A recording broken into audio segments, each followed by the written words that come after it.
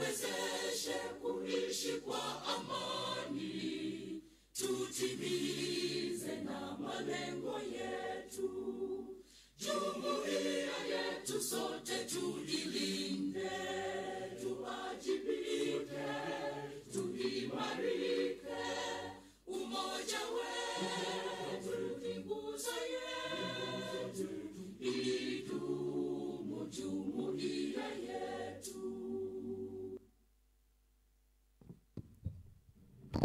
Thank you so much. May we be seated?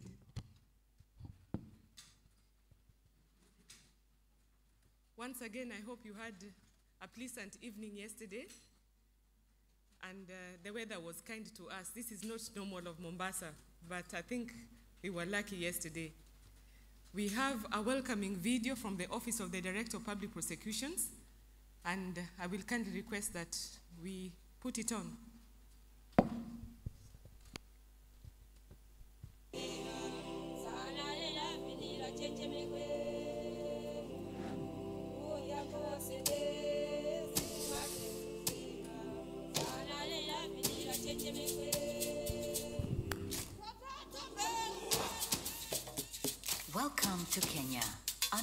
Undisputedly one of the world's most magical countries. From the plains to the savannah, the iconic melting sunset to the silhouette of the acacia trees. This is Kenya. This land sired African Nobel laureate Wangari Maathai and continues to nurture the indomitable world marathon runners. Kipchoge storms into the history books in Vienna. Kenya has more than 45 national parks, game reserves, animal sanctuaries, and over 100 conservancies. Home to unique and diverse wildlife offering breathtaking safaris. The Masai Mara, one of the modern wonders of the world, is home to the great wildebeest migration. The Great Migration of Wildebeest across the Mara River is one of the most phenomenal natural spectacles in the world. The sheer sight of the animal herds crossing the crocodile-infested river will leave you with unforgettable memories. With white sandy beaches, sparkling blue ocean waters, and the celebrated Swahili culture, the Kenyan coast is an unforgettable experience. The Fourth International Association of Prosecutors and the East Africa Association of Prosecutors Conference is being held here in Mombasa, the country's largest coastal city. Lamu is the oldest. The city of Mombasa was the first port of call when the Portuguese and Arabs first came to East Africa. The Vasco da Gama Pillar and Fort Jesus bear witness to the rich history of this coastal city. Today, Kenya's coast remains a multicultural melting pot, drawing people from all over the world. It is a major commercial hub for regional and international trade. We are more interconnected than ever before. In a digital and globalized world, crime is also evolving. Criminal groups are creating more complex networks that have no boundaries.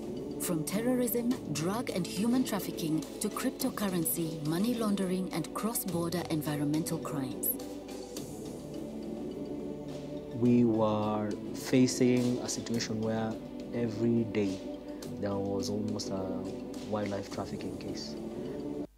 Uh, so much so in Kenya we had uh, to have a court set up uh, at the airport just to try and fast track the hearing of some of these cases. As prosecutors, just remember you are the gatekeepers to the criminal justice system. It is not the investigator, it is you. Um, and so the way that you let cases in or don't let cases in, or when you let those cases into that system, um, must be done according to a very objective, clinical, forensic approach to these cases. This year's conference is an opportunity for prosecutors from different jurisdictions to network and share experiences, to work together to develop prosecutorial standards that will outpace complex transnational organized crimes. As prosecutors, we will continue to take on challenges and turn them into opportunities. Together, we will innovate laws and strengthen the criminal justice system. Together, we will step up on the war on transnational organized crime because our continent deserves better and we can do better. Ladies and gentlemen, it gives me great pleasure to welcome you all to the IAP Fourth Regional Conference of Africa in the Indian Ocean, and East African Association of Prosecutors Extraordinary General Meeting. The theme of the conference, Effective Mechanism for Responding to Emerging Crimes and Transnational Organized Crimes in Africa, Country Experiences and Challenges, reaffirms our commitment to combating emerging and transnational organized crimes. I hope that this conference gives us an opportunity to network, share best practices, develop strategies, and build partnership towards combating emerging and transnational organized crimes. I thank you all for coming, and I encourage you to enjoy the white sandy beaches and rich history and culture that Mombasa has to offer. Karibuni sana. Karibuni Mombasa. Karibuni Kenya.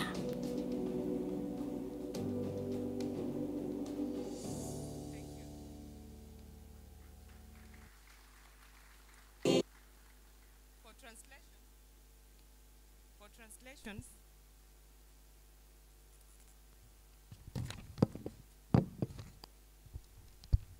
for translations, channel 1 is English, French is channel two, three is Portuguese, and four is Arabic. Allow me to introduce to you our guests this morning. I know we've got many guests among us, distinguished guests, heads of prosecution authorities, and dignitaries. The DPP will do that, but allow me to introduce the guests this morning for the opening ceremony. So with us is Honorable Justice Stephen Gatembu Kairu, Judge of the Court of Appeal of Kenya.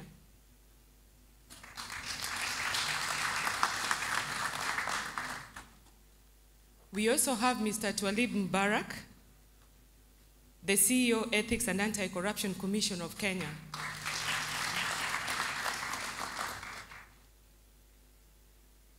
Then we have Sylvester Mwakitalu, Director of Public Prosecutions, Tanzania. He is also the President of the East African Association of Prosecutors. Another round of applause for him. Then we have Satyajit Boolell, Director of Public Prosecution, Mauritius. He's also the Vice President. He is also the Vice President of the East Africa of the International Association of Prosecutors, African Indian Ocean Region. A round of applause for him. And finally, our guest of honor this morning is a friend to the ODPP. He has supported us through our journey. And as the directorate, as the Office of the Director of Public Prosecutions, we owe our independence and budget independence to him, none other than the Cabinet Secretary in charge of Treasury, Kenya, Mr. Yatani.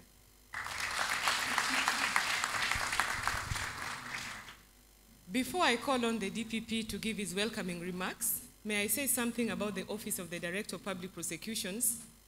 The Office of the Director of Public Prosecutions, Kenya, is provided for under the Constitution of Kenya, Article 157. It is provided for as an independent office, and to articulate that independence, the Director of Public Prosecutions has a tenure office, and we also have independence in budgetary allocation to some extent.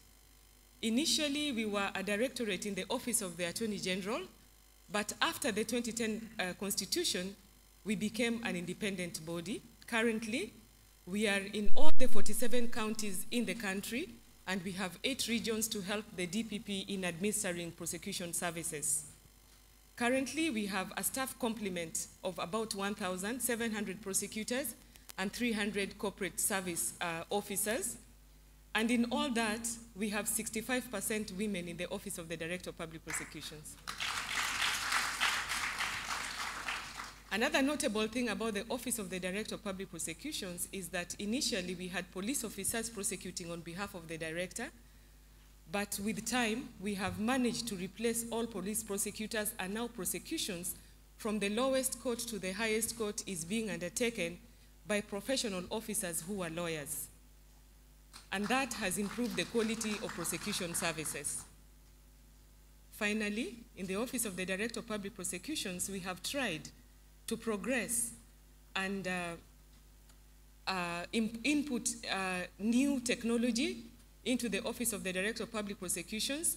We have adhered to some international uh, instruments that are helping us. For example, we are members of the International Association of Prosecutors, African uh, Association of Prosecutors, and East African Association of Prosecutors. We have policies and guidelines that guide us other than the Constitution and the ODPP Act. And as we go along, we'll be talking about some of the policies and guidelines and some of the mechanisms that we have put in place to improve prosecution services. We understand that we are ministers of justice.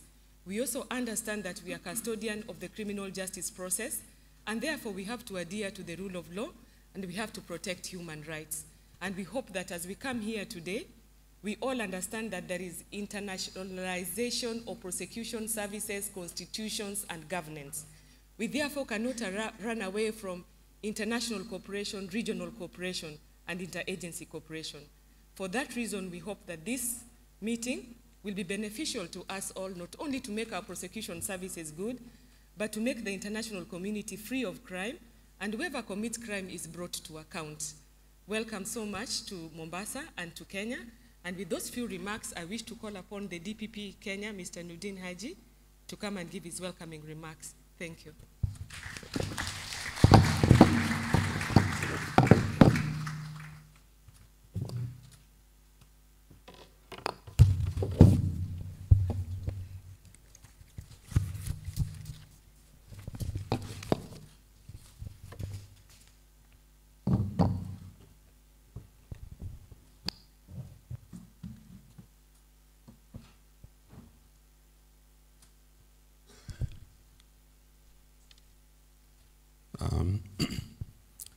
Honorable Ambassador Ukur Yatani, uh, Cabinet Secretary, National Treasury and Planning, Honorable Justice Mr. Stephen Gatembu Kairu, Judge of the Court of Appeal of the Republic of Kenya, Mr. Kennedy Ogeto, Solicitor General of the Republic of Kenya, Twalib Mbarak, CEO, Ethics and Anti-Corruption Commission of Kenya, Satyajit Director of Public Prosecutions, Mauritius, IAP Vice President, Africa Indian Ocean Region. Godfred Yeboah, uh, Attorney General and Minister of- for Justice of Ghana. Councillor George Sas Gabriel Salib, representing the President of the Africa Prosecution Association from Egypt. Sylvester Mwakitalu, Director of Public Prosecutions Tanzania and EAAP President. Mr. Eric Theuri, President, Law Society of Kenya. Fellow DPPs, Attorney Generals, and Prosecutor Generals, distinguished guests, ladies and gentlemen, good morning. Habari asubuhi. Sabal khair. Bonjour. and bom dia. Um, I have uh, the singular honor of welcoming you all to the International Association of Prosecutors, Fourth Regional Conference of Africa and the Indian Ocean, and the East Africa Association of Prosecutors uh, Conference, but also to welcome you to Mombasa, the coastal town of Kenya. Karibuni sana. I would like to thank the Honorable CS of Finance, Honorable Ukur Yatani, for gracing this auspicious occasion despite his busy schedule, and for the government's continuous commitment to ensuring that the independence of not only the ODPP but also the other criminal justice institutions are safeguarded. From the offset, allow me to thank the International Association of Prosecutors and the East African Association of Prosecutors for giving us the opportunity to host this conference. It is a pleasure to have you all, and your presence is nothing short of a testament of our commitment to foster international and regional cooperation as prosecution authorities. this two-day conference is for our distinguished delegates and criminal justice experts to share with each other best practices in strengthening prosecutorial services to achieve excellence in a progressively complex criminal justice environment. The theme of this conference effective mechanism for responding to emerging crimes and transnational organized crimes in Africa, country experiences and challenges, resonates with our obligation to strengthen cooperation towards preventing and combating transnational organized crimes at the national, regional, continental, and international levels. In this regard, I hope we can examine potential avenues for the harmonization of legislation, policies, and frameworks towards enhanced regional, continental, and international cooperation in the detection, investigation, and prosecution of emerging and transnational crimes. We are experiencing complex and rapidly evolving crime landscape as criminal organizations are no longer restricted by territories or borders. Indeed, with the development of technological tools such as blockchain and cryptocurrencies, perpetrators are able to carry out transnational organized crimes with minimal risks of detection.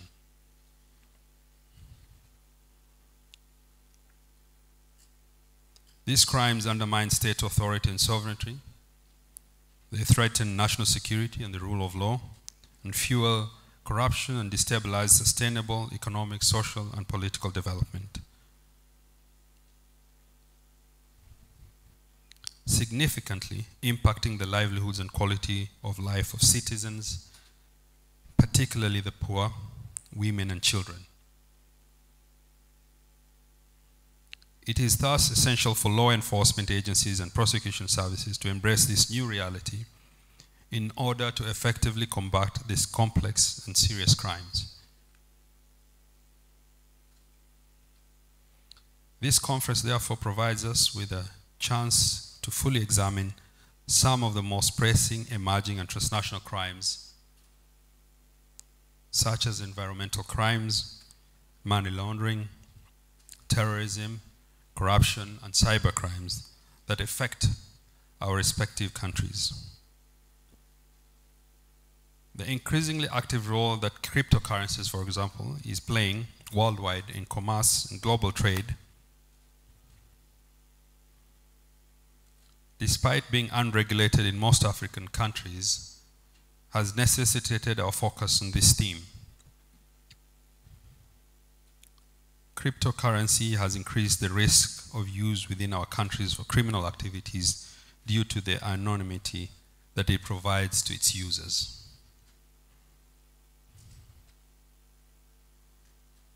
With regards to environmental crimes, the current global partners in climate change are increasingly concerning.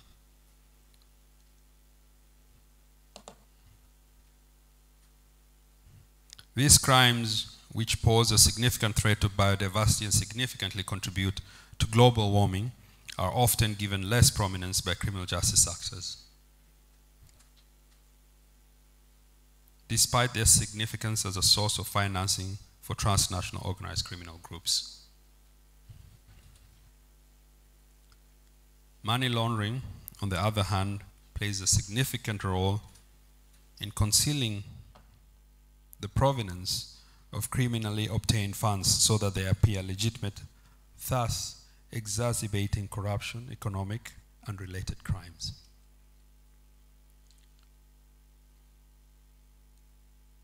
Our approach to tackling these crimes as the ODPP has been to enhance the capacity of our prosecutors through continuous training programs and exchange programs.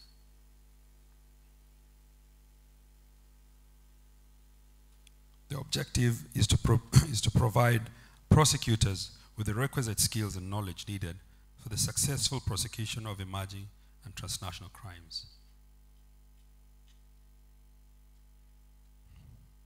In addition, with the establishment of a prosecution training institute, the first of its kind in Eastern Africa, we hope to enhance the knowledge and skills of prosecutors and criminal justice actors not only within Kenya, but also within the wider African region. We hope that we can partner with you in this development of, an, of a center of excellence for legal practitioners, especially prosecutors. Additionally, we have recognized that complex crimes require more time to be handled due to the voluminous nature of the evidence to be analyzed and the need for experts and analysts, among other factors. It is for this reason that we have automated our case management to enhance efficiency, accountability, and transparency in discharging our mandate. This system has further been integrated with the judiciary's e-filing system to enhance expeditious disposal of cases.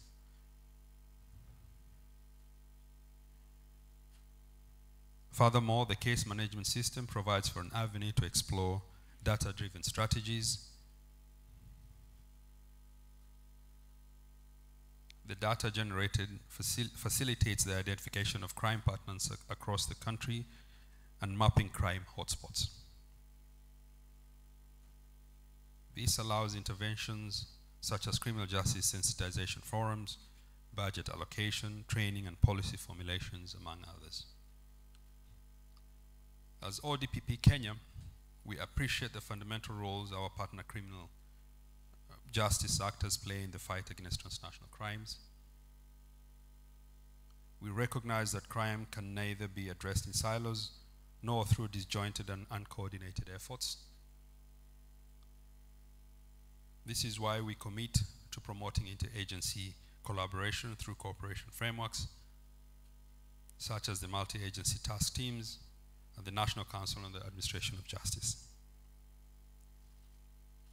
These strategies, whilst effective, can be enhanced through strengthened interagency and interstate, regional, continental, and international cooperation.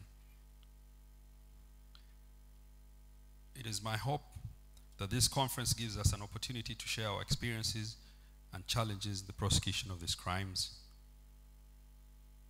to identify gaps in our processes and develop or enhance our strategies towards the successful prosecution of these crimes. It is my belief that as long as we have result-driven prosecution authorities, cognizant of the fundamental human rights and freedoms and committed to effective and efficient prosecutions within the dictates of the law.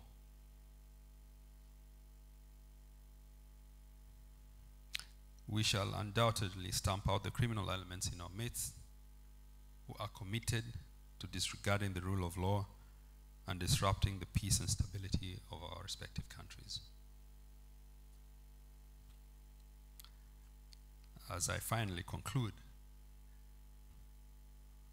and I'm sorry, I, I, I, went a bit slow so that um, the translators can translate. As I finally conclude, I would like to thank all our experts for your willingness to share your experiences to all the delegates, for committing time out of your busy schedules for this conference. And finally, I acknowledge the role of the Government of Kenya, INL, UNODC, AGA, and AML THB for their financial and technical support in the realization of this conference. I express my deepest gratitude to the IAP, the Secretary General, the Vice President of the IAP Africa region, Mr. Boolell, and the President of the East African Association of Prosecutors for providing a regional and international platform that is dedicated to amplifying cooperation and collaboration amongst prosecutors, legal experts, and other criminal justice actors in safeguarding the rule of law. Once again, I welcome you to Mombasa in Kenya. Karibuni, Kenya. Thank you all and God bless.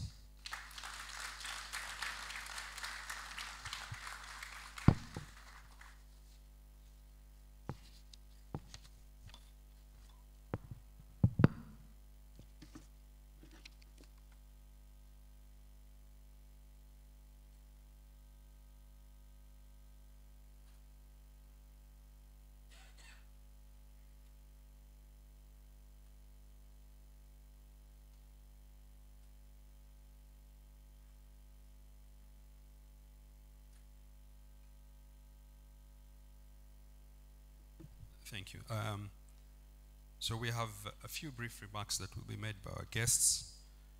Um, and I want to start with Mr. Kevin Higgins, who is the Director, Bureau of International Narcotics and Law Enforcement Affairs, uh, one of the organizations that has helped us to realize this conference.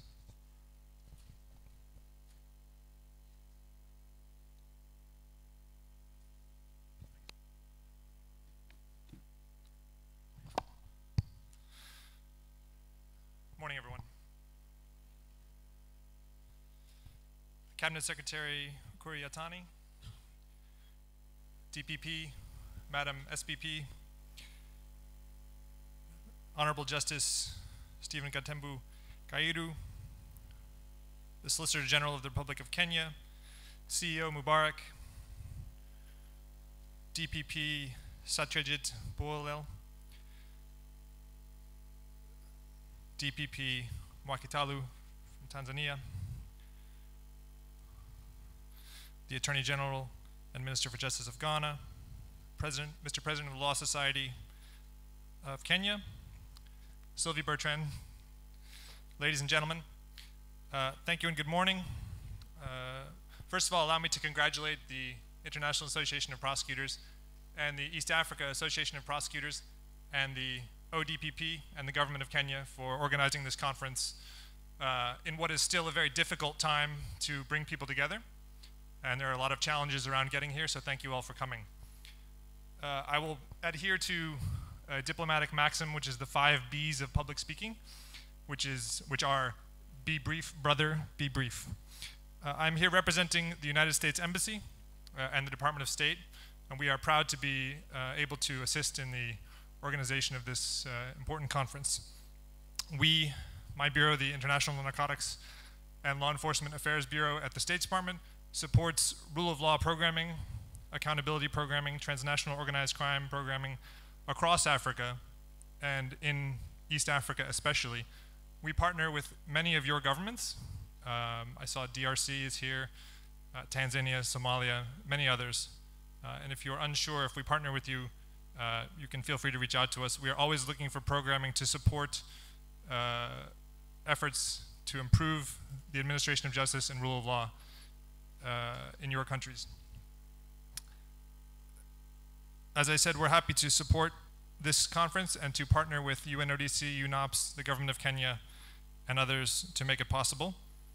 And uh, later on today, you'll have a chance to hear from an actual American expert, uh, Ms. Tamika Patterson, who represents the Department of Justice.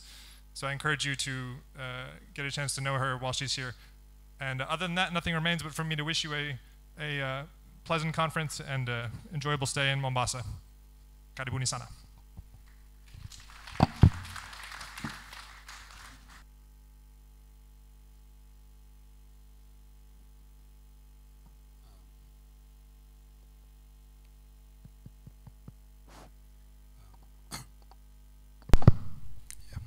Thank you, uh, Kevin. I will now call upon Mr. Sylvie Bertrand, UNODC Deputy Regional Representative, and uh, I hope uh, the remarks will also be brief. Thank you.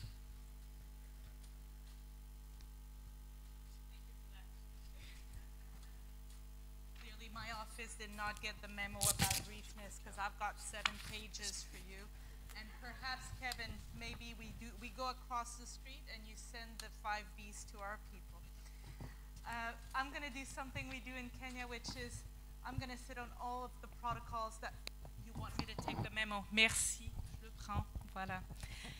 Um, I'm going to sit on the protocols that were expressed before us in the effort of making this intervention brief. I want to say I couldn't be more pleased to be in Mombasa. I'm seven years in Kenya. I did most of my work in Mombasa. It's always a great opportunity to be back on the coast, a- and certainly uh, this time all the more important for me. It's probably going to be my last time in Mombasa as I depart for another region, so certainly uh, pleased to be here.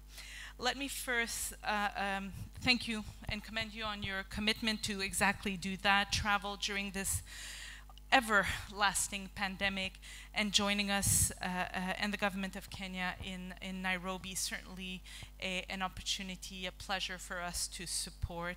You will have uh, speakers throughout your conference from, uh, from our office in uh, Nairobi and, and beyond who will come and share uh, their expertise and, and, hopefully enlighten the discussions that you'll be having throughout the day. Now, in keeping with the conference theme, I wanted to just uh, share a little bit of our country partnership experience with you. Uh, Kevin has mentioned some of them. We benefit from the generous support of the US, of the EU, and many other member states to deliver uh, partnership assistance with many of your countries, with many of your offices as well. and they've done a shopping list for me of all of these things, so I'll try to wrap it up very briefly for you. But I just want to make sure um, you know, oftentimes the United Nations Office on Drugs and Crime were seen as, you know, the, the babysitter of conventions and, and, and in the field where we work, we're certainly uh, uh, trying to bring those convention uh, to life and support the member state in operationalizing those convention. And, and I want to talk obviously about the UN Convention against uh, um, transnational organized crime and the three protocols that are uh, associated to it. Uh, we are the custodian for that. Uh, we have also the three drugs uh, convention. We have the 61, 72, and 71 as well. Uh, and we have the, you know, the, the recommitment to those as well at the special session of the um, General Assembly on the World Drugs Program problem. Uh, we have as well uh, the standard minimum uh, rules uh, for the treatment of prisoner, which we also are the custodian, and we also know them as the Nelson Mandela rules. In last year, actually, last year UNODC launched a strategic vision for Africa. And the strategic vision for Africa was all about how does UNODC really tailor its technical assistance to the needs of Africa. So we heard you. We had a lot of cons consultation with the um, with the civil society, with national partners, with your universities, really to come up with a strategic vision that is very focused on people, that enabled us to, uh, uh, to be much more geared towards tackling drug control, transnational organized crime, terrorism, corruption, illicit financial flow, and, and, really to accelerate the continent's uh, progress towards the Sustainable Development Goal and the African Union's uh, Agenda of 2063. So while the convention may be broad in approach, the strategic vision is kind of it's time to act and, how do we go about acting here with the emerging challenges that we have on the continent. The DPP, uh, Haji did mention many of those new crime type. How are we equipped to deal with those? Uh, you know, we used to see environmental crimes as, you know, the usual um, you know, tackling the large transnational network, uh, uh, organized crime networks uh, uh, when it comes to animals, for example. But we know that, for example, the threats of hazardous uh, waste management and illicit trade of waste, uh, of illicit chemicals is also an issue. So really it's, it's about looking at the tech technological advancement of those networks, how are they doing, what's their new business model, how do we together find the right way to tackle those challenges.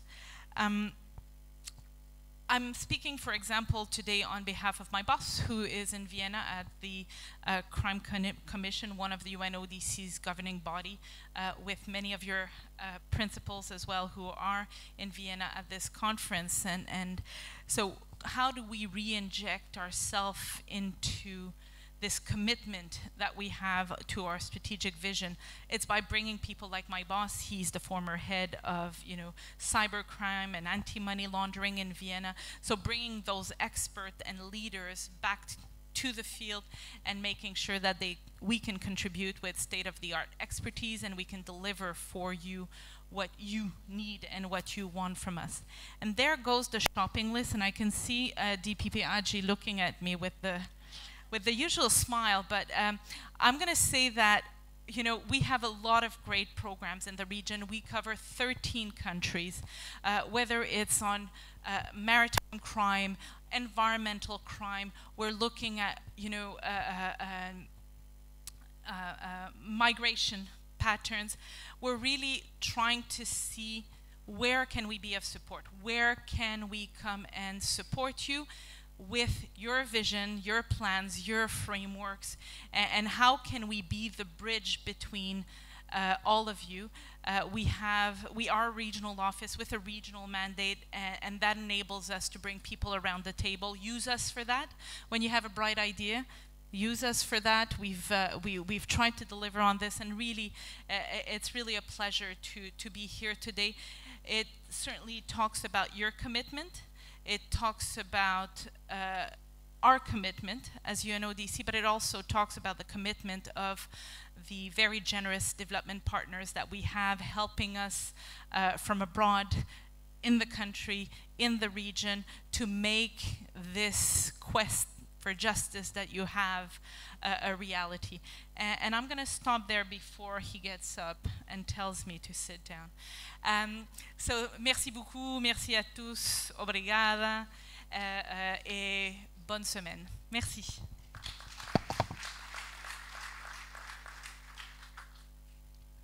Uh, thank you, Sylvie. Um, I had to be patient because um, UNODC is one of our biggest partners here in Kenya, and uh, they really give us a lot of support. Um, and they have been invested together with the EU um, billions of shillings in ensuring that the legal, um, um, sorry, the justice sector uh, is, is, is well reformed, well funded, and um, they really assist us in realizing a lot of our goals, which we would not be able without their support. Thank you very much, Sylvie. I will take this opportunity now to ask Mr. John Edozi from uh, Attorney General's Association to come and say some very brief remarks. John.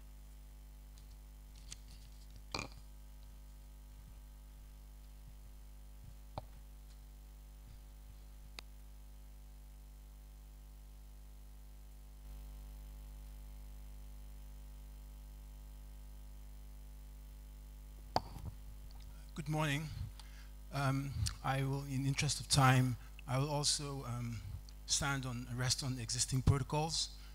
Um, thank you, um, Office of Director of Public, Public Prosecutions and uh, all the DPPs present. Um, we are with the Attorney General Alliance of Africa, and um, we support transnational trainings on the continent. We're happy to be here today to support the East Africa Association of Prosecutors. And um, in the interest of time, I just want to wish you a good conference and um, good deliberations. Thank you.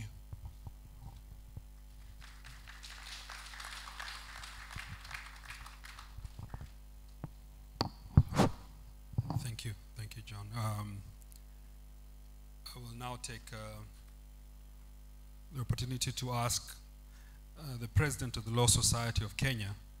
Uh, we have the Law Society of Kenya, and we have a president who is, uh, uh I think, here today, Mr. Eric Theuri. Please, um, just brief remarks.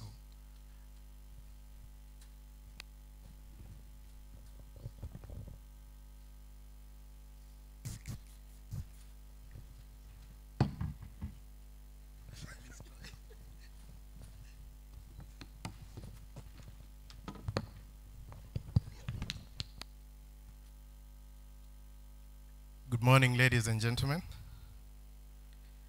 Allow me to adopt the protocols that have been prior mentioned in an attempt to save on time.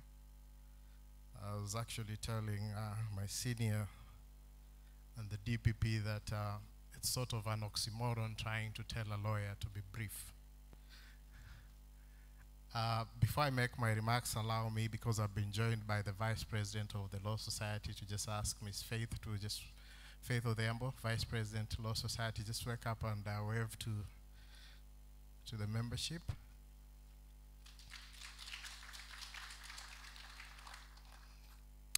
Thank you so much. Uh, DPP, I want to thank you for finding it fit to invite us to this very, very important uh, conference exploring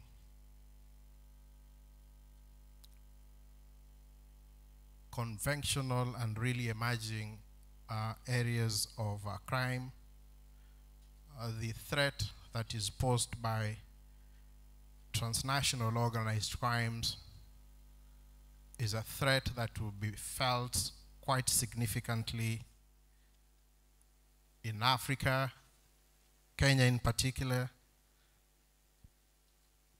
because of its ability to infiltrate governments that have weak structures,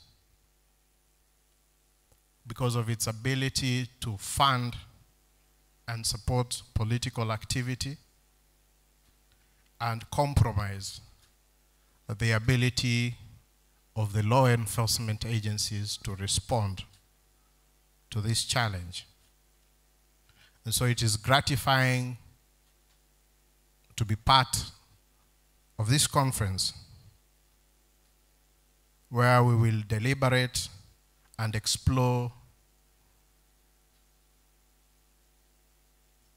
the strategies that are available for us to be able to develop the competencies and the capabilities of the law enforcement agencies, and not only just the law enforcement agencies, but also of the bar associations.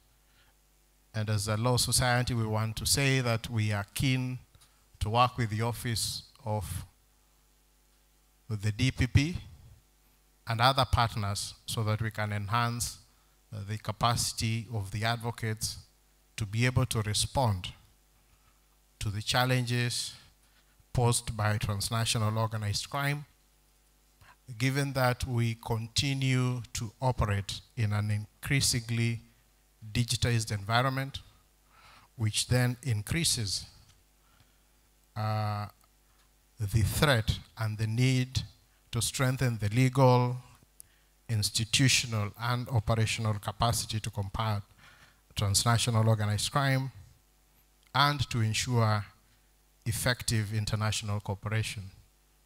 It is our view that to be able to achieve these objectives, then there is need for greater collaboration between the law societies and the office of the ODPP and other law enforcement agencies so that we can be able to develop the urgent and dynamic local responses as well as establish the international linkages and responses that we need to and we want to pledge you, to you as uh, prosecutors that uh, the Law Society is uh, keen to engage in this aspect and look at partners to be able to build our capacity so that we are able to uh, combat uh, this emerging and very um, huge threat to both our local security and the international security. So I want to take this opportunity to once again congratulate you and uh, the Association of Prosecutors for convening us today and to wish each and everyone wonderful deliberations. Asanteni sana.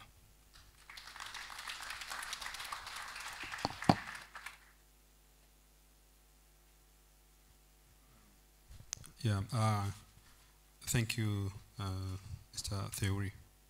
I will now ask, um, th there will be a video playing. I'm not strictly following the script, but um, there'll be a video from the Crown Prosecution Services, uh, the DPP United Kingdom, who has a message, and that is Mr. Max Hill, uh, QC.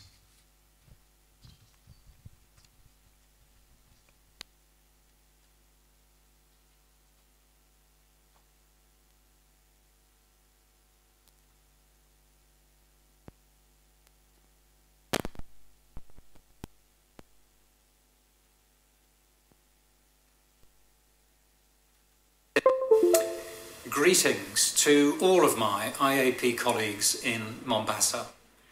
I'm delighted to be able to join you today, albeit by video, and I'd like to thank Noordin Haji, the DPP of Kenya, for extending an invitation to me to participate in your event. I'm going to speak about the threat from transnational organised crime from the UK perspective and outline some of the ways in which we are responding to this. The UK government has estimated that serious and organised crime costs the UK at least £37 billion annually.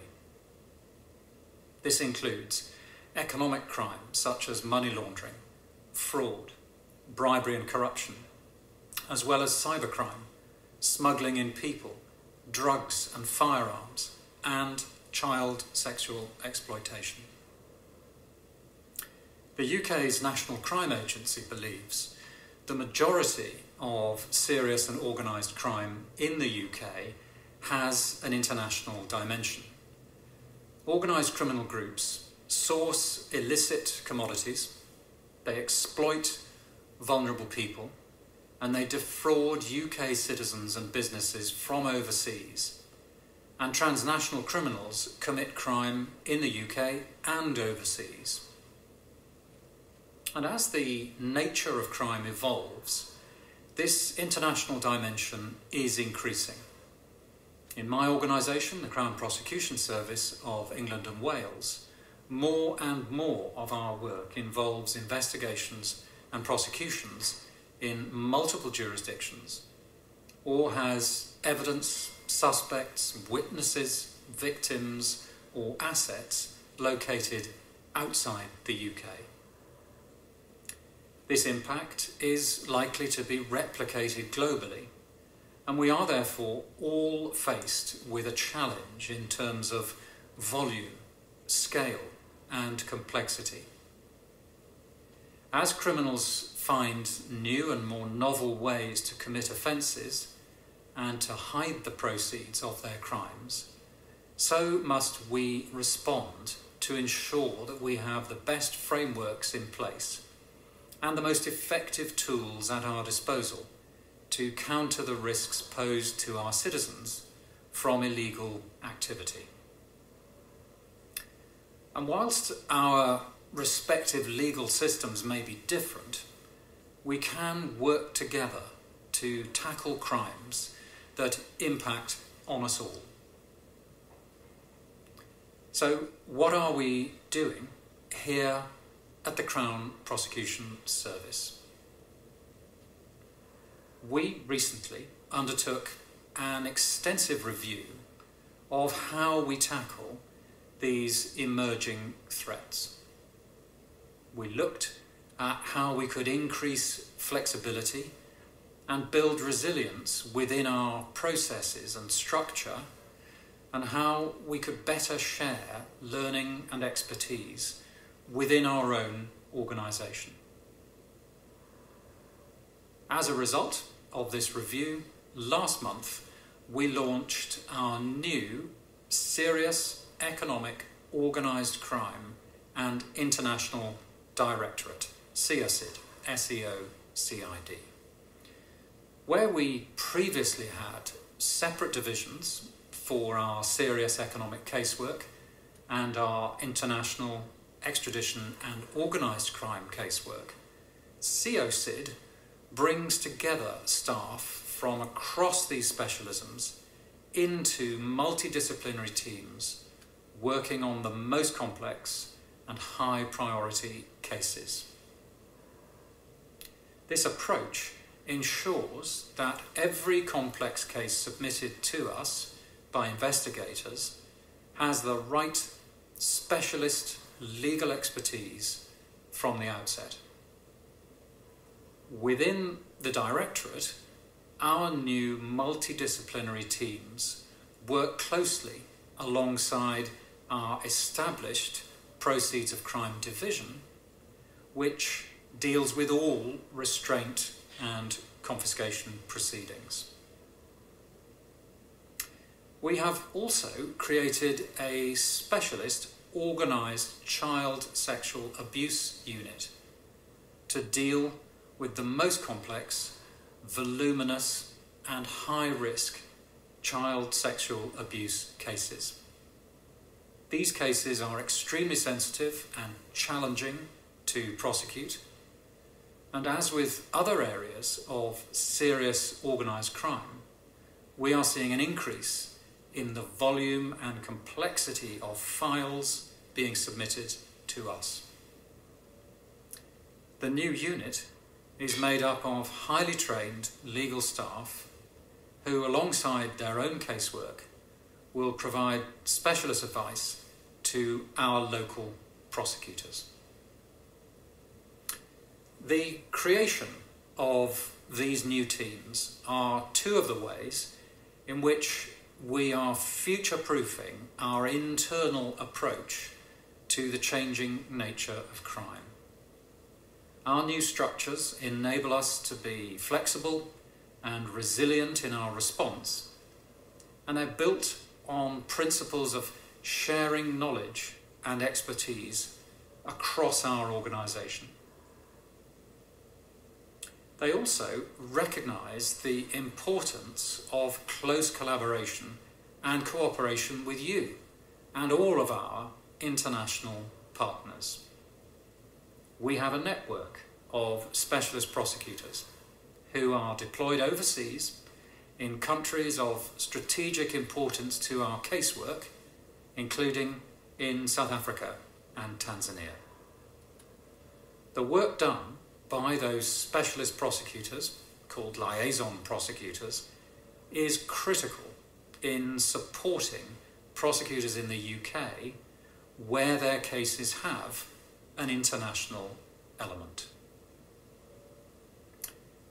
Good communication between prosecutors is essential on specific casework where we can assist each other but also through forums in which knowledge is shared, common problems discussed, and solutions identified.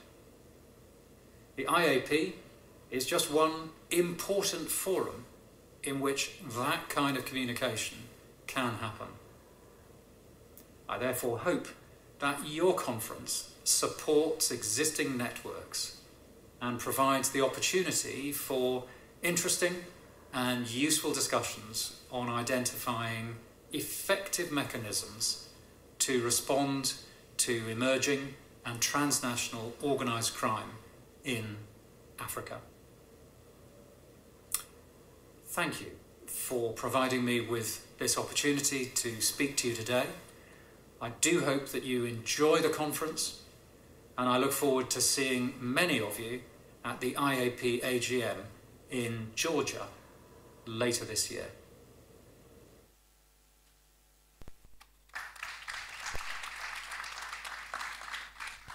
Um, thank you. Um, that was Mr. Max Hill, uh, QC, who is the deputy, I mean, the director of public prosecutions, uh, United Kingdom, or is it England and Wales? Um, the Attorney General of Ghana is on his way, has not yet arrived. So in his stead, I've asked His Excellency Khalifa Ahmed Khalifa, the Attorney General of Sudan, to come and say a few words.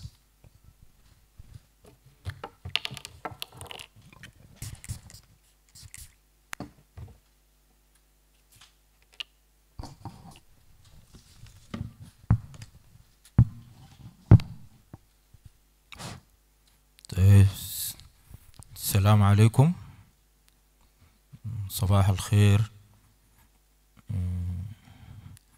أنا أشكر السادة النواب العموميين والمدعين العامين السادة رؤساء الوفود والحضار الكريم من مختلف مسمياتهم السلام عليكم.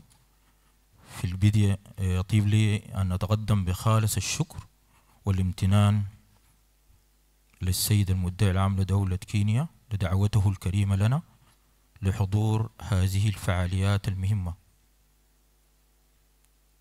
ونشكره على كرم الضيافة وحسن الاستقبال. ثم الشكر أجزله لكل الزملاء من أعضاء النيابة العامة في دول شرق إفريقيا والمحيط الهندي ولكل من ساهم في أن نقف وقفتنا اليوم أمامكم. السادة مدعين العامين السادة رؤساء الوفود الحضور الكريم. تشكل الجريمة المنظمة عبر الحدود تحديا كبيرا للمجتمع الدولي لما تؤدي إليه من تعطيل للتنمية والاستقرار في المجتمعات. الأمر الذي يقتضي النظر في أسبابها ودوافعها فضلا عن تعزيز التنمية المستدامة للدول لا سيما الأقل نموا وفقا لأهداف التنمية مما ينعكس إيجابا على مستويات الجريمة بشكل عام والجريمة الوطنية بشكل خاص وصولا لمعرفة تشكيل الشبكات الإجرامية ورصدها وتعقبها ومحاكمتها. السادة رؤساء الوفود الحضور الكريم. إن التعاون القانوني والقضائي بين الدول الإقليم ودول العالم من الأهمية بمكان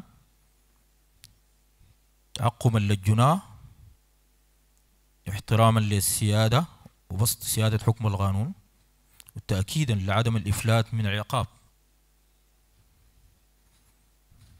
وتجي مشاركتنا هذه امتدادا لهذا الإرث من التعاون والتوافق والبناء الذي يهدف لخدمة الشعوب. السادة المدعين عمومين السادة رؤساء الفوض الحضور الكريم. نأكد مشاركتنا حيث صادق السودان على اتفاقيات الدولية والاتفاقية الأمم المتحدة لمكافحة الاتجار غير المشروع بالمخدرات والمؤثرات العقلية في عام 1989 كما صادر أو صادق السودان على قانون مكافحة المخدرات في 1994 وتم تأسيس نيابات مختلفة لمكافحة المخدرات في السودان.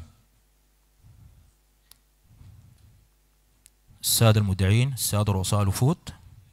نطلع من خلال هذه الفعاليات لمواصلة التعاون القانوني والقضائي في كافة المسائل الجنائية لتؤثر على دول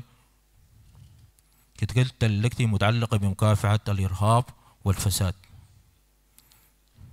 وحيث أن السودان يتطلع أيضا إلى الانضمام إلى جمعية النواب العموميين لشرق إفريقيا وجمعية النواب العموم للدولية وسنعمل على اتباع الإجراءات المنصوص عليها لتحقيق هذه القاية. كما نطلع لإنشاء شبكة لتبادل المعارف والخبرات بين الدول ونطمع في التعرف عن كسب لتجارب الدول في المجالات التي تشمل هذه الفعاليات. شكرا جزيلا.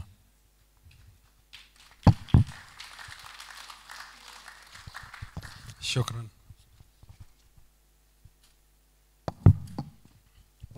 Um, I will now call upon Mr. Frederick uh, Bayer, AMLTHB, to come and say very few words because we are, we are, we are running uh, out of time and we want to start the, the main program.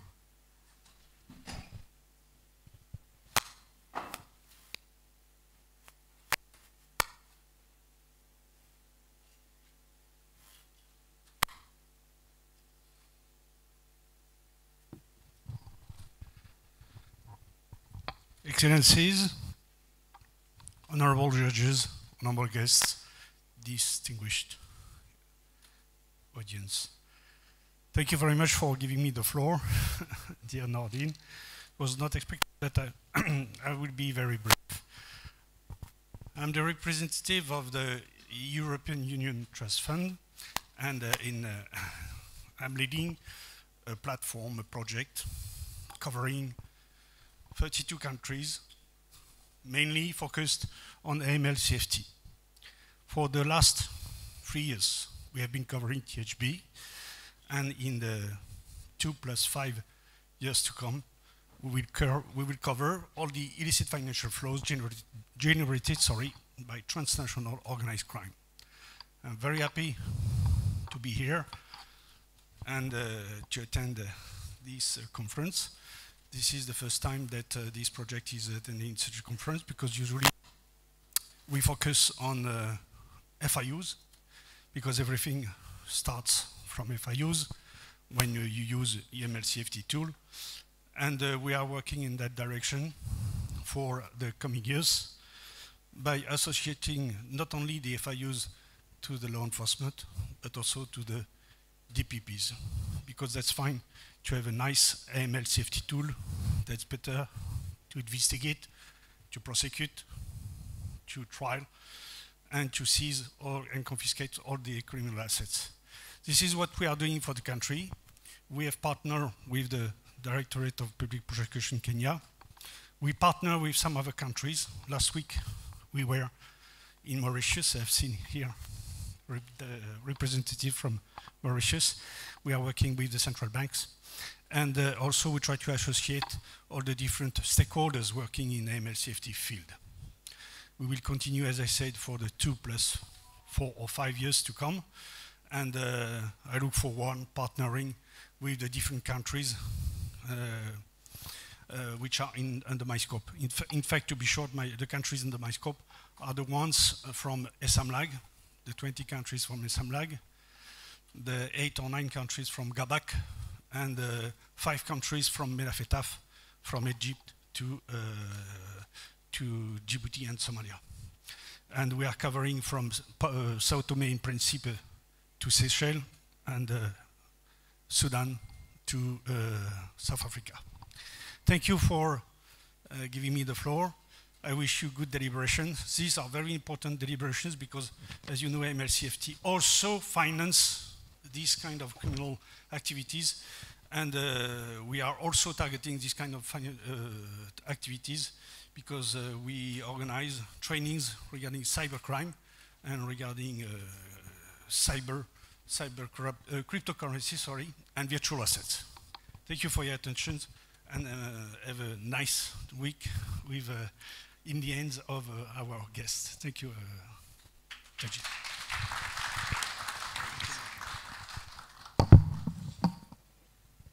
Um, I will now want to invite um, Mr. Sylvester Mwakitalu, who is the Director of Public Prosecutions Tanzania, and he is also our East African Association uh, of Prosecutors President.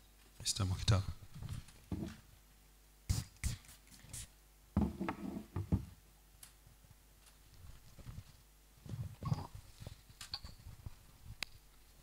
Honorable Ukur Yatani, Cabinet Secretary of the National Treasury and Planning of Kenya, Honorable Justice Stephen Kairu, Judge of the Court of Appeal of Kenya, Honorable Satyajit Boolell, International Association of Pros Prosecutor Vice President, the African Indian Ocean Region, Honorable Twalib Mbarak, Chief Executive Officer of the Ethics and the Anti-Corruption Corruption uh, Commission of Kenya, uh, Honorable the Lady Justice Jane Frances Abodo, DPP Uganda, and EAAP Vice President, Honorable Noordin Haji, EAP Secretary General and DPP Kenya, Honorable Attorney Generals,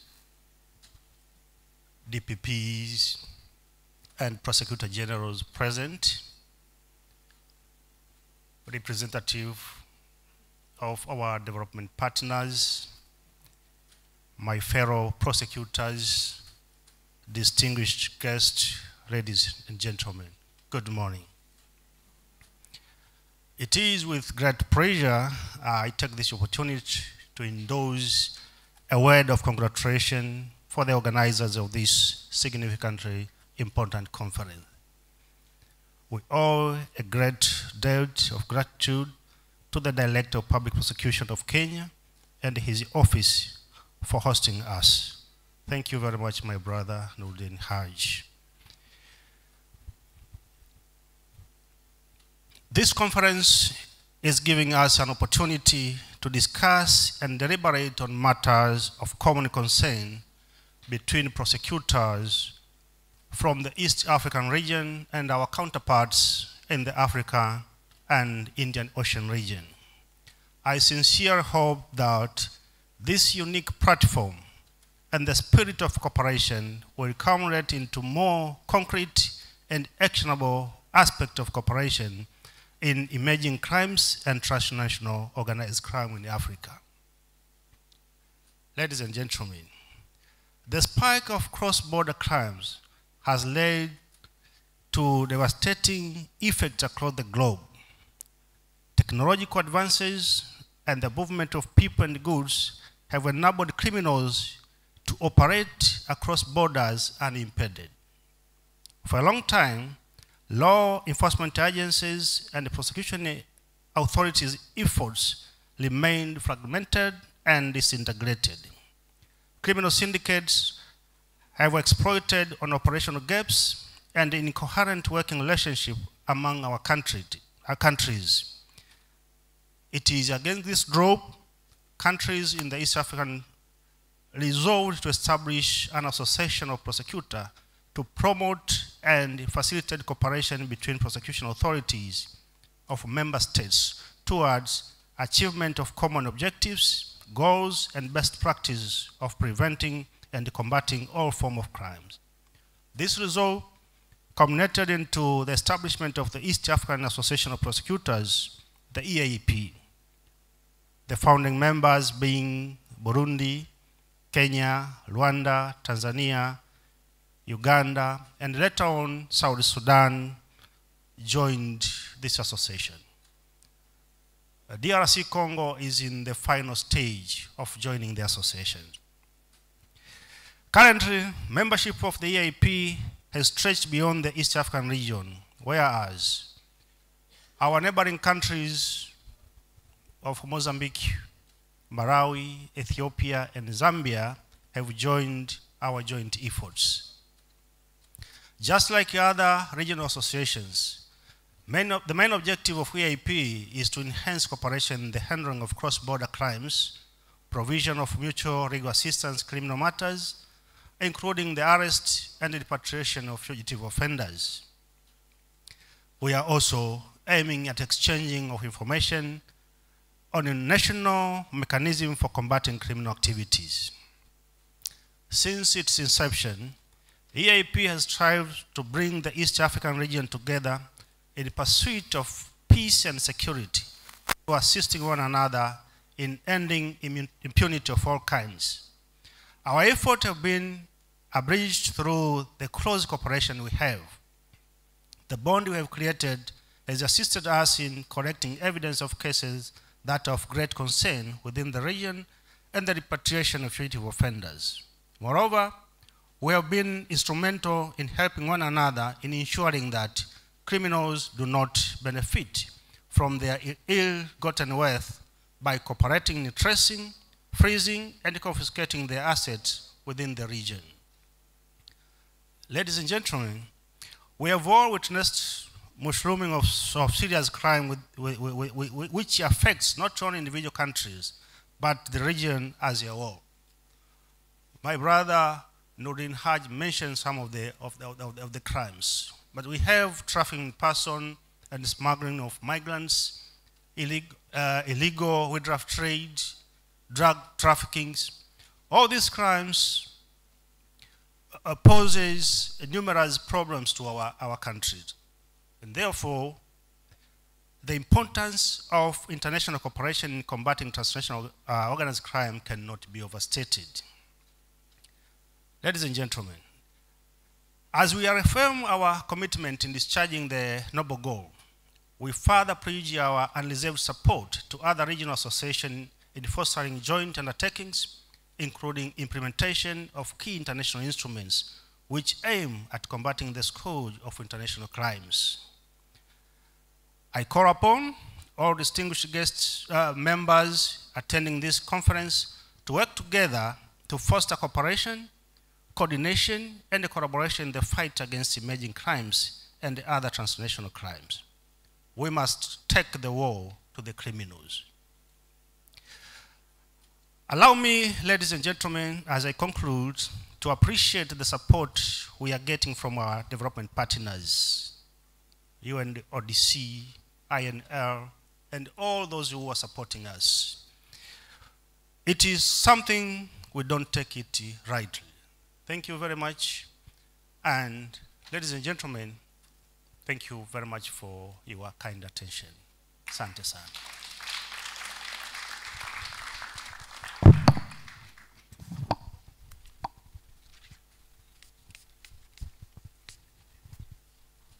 Thank you very much, Ndugu Mwakitalu. Um, I will now call upon um,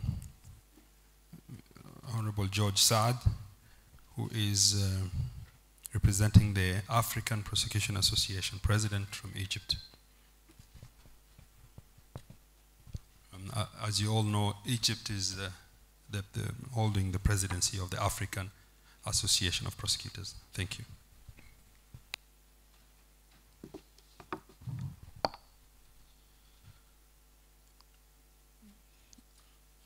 السادة وزير المالية الكيني السيد قاضي الاستئناف الكيني السادة الأجلاء أصحاب المعالي والسادة النواب العموم رؤساء الوفود المشاركة السيدات والسادة أعضاء النيابة المشاركين والسادة الحضور. يشرفني في البداية أن أعرب عن بالغ سعادتي بالمشاركة في هذا المؤتمر الهام. الذي يجمع لفيفا من خيرة العقول القانونية التابعة النابغة في قارتنا الأفريقية ومنطقة المحيط الهندي وهي خبرات دائما ما نفتخر بها وبنتاج أعمالها في جميع المحافل الدولية والإقليمية. يسعدني أن أنقل إلى حضراتكم. تحيات السيد المستشار النائب العام المصري رئيس جمعيتي النواب العام الأفارقة والعرب. وأعتذر بالنيابة عنه عن عدم حضوره فعاليات هذا المؤتمر الهام نظرا لظروف العمل التي حالت بينه وبين المشاركة في هذا المؤتمر. كما أود أن أتقدم بالشكر والتقدير إلى دولة كينيا الشقيقة ومعالي النائب العام لدولة كينيا على حفاوة الاستقبال والاستضافة فالتعاون الدائم بين شعوبنا في شتى المجالات كان ولا يزال السمة البارزة لعلاقتنا التاريخية. أود أن أتقدم أيضا بالشكر إلى الجمعية الدولية لأعضاء النيابة العامة وجمعية النواب العموم لدول شرق أفريقيا وأعضائها وإلى كافة الجهات الدولية المشاركة والمساهمة في تنظيم هذا المؤتمر على عملهم الدؤوب في مكافحة كافة الظواهر الإجرامية على مختلف صورها. والتي من أهم وسائل مكافحتها تنظيم مثل هذه المؤتمرات الإقليمية والتي تهدف إلى دراسة ملامح هذه الظواهر وأسباب وجودها وأطر وكيفية مجابهتها. السيدات والسادة الحضور لقد ساهم التطور الذي أصاب تكنولوجيا المعلومات ووسائل الاتصالات وسبل الانتقال من مكان إلى آخر في تطور السلوك الإجرامي بصورة عامة.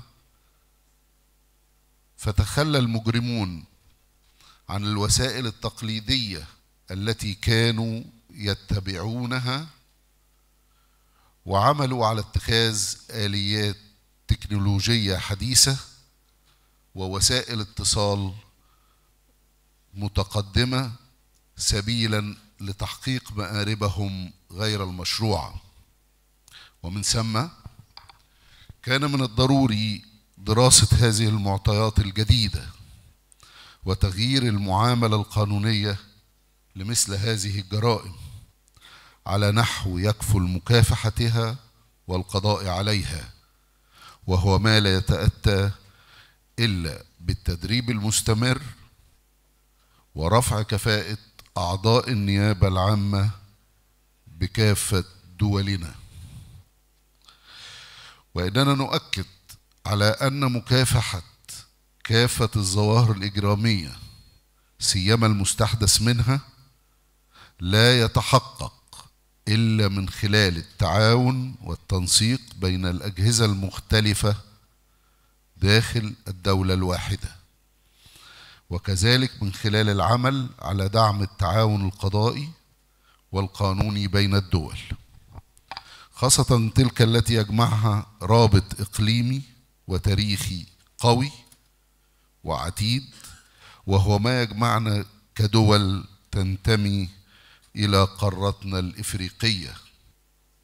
فتتماثل مشاكلنا وتبرز الحلول المشتركة القائمة على التفاهم والمصلحة الواحدة سبيلا لنجاحنا ووسيلة لدعم وتقوية علاقاتنا.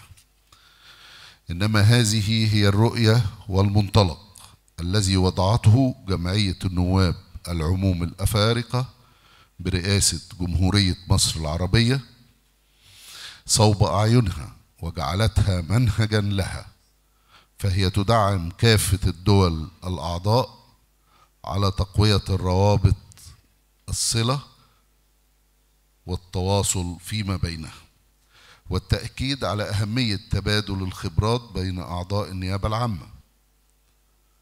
الأفارقة مع إبراز أهمية وفاعلية التدريبات وورش العمل الإقليمية المشتركة بينهم.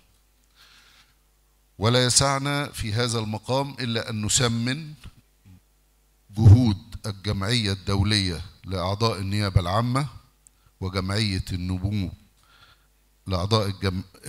الجمعية الدولية لأعضاء النيابة العامة وجمعية النواب العموم لدول شرق أفريقيا في هذا الشأن. اللذين يبذلون جهود عظيمة في مختلف المجالات.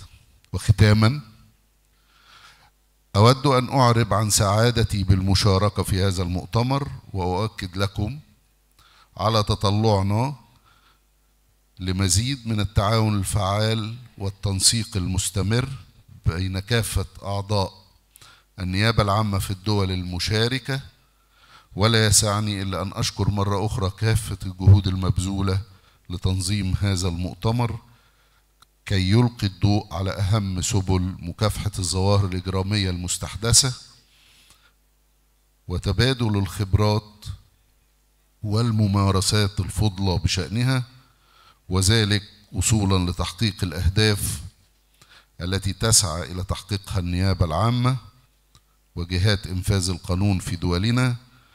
من مكافحة الجريمة بكافة صورها شكرا جزيلا سيادة النائب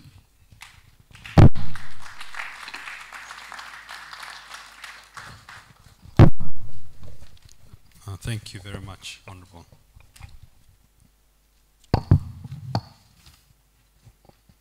Um, I will now invite um, Mr. Twalib Barak, uh, who is the CEO, Ethics and Anti-Corruption Commission of Kenya, uh, to also come and say a few words.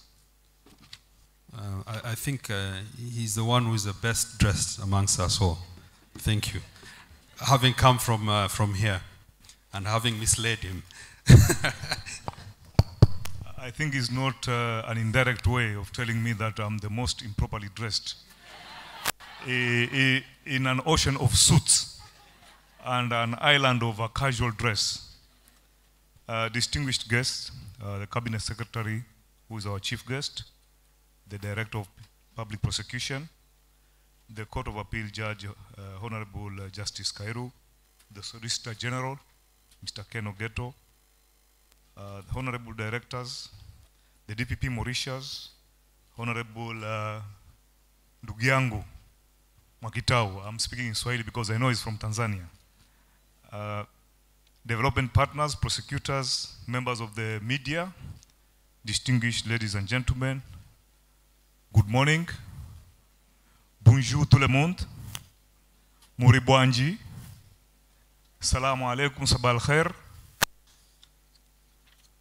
Uh, let me take this opportunity, first of all, to thank the DPP, uh, Mr. Noordin Haji, for inviting us, uh, uh, the Ethics and Anti-Corruption Commission of Kenya.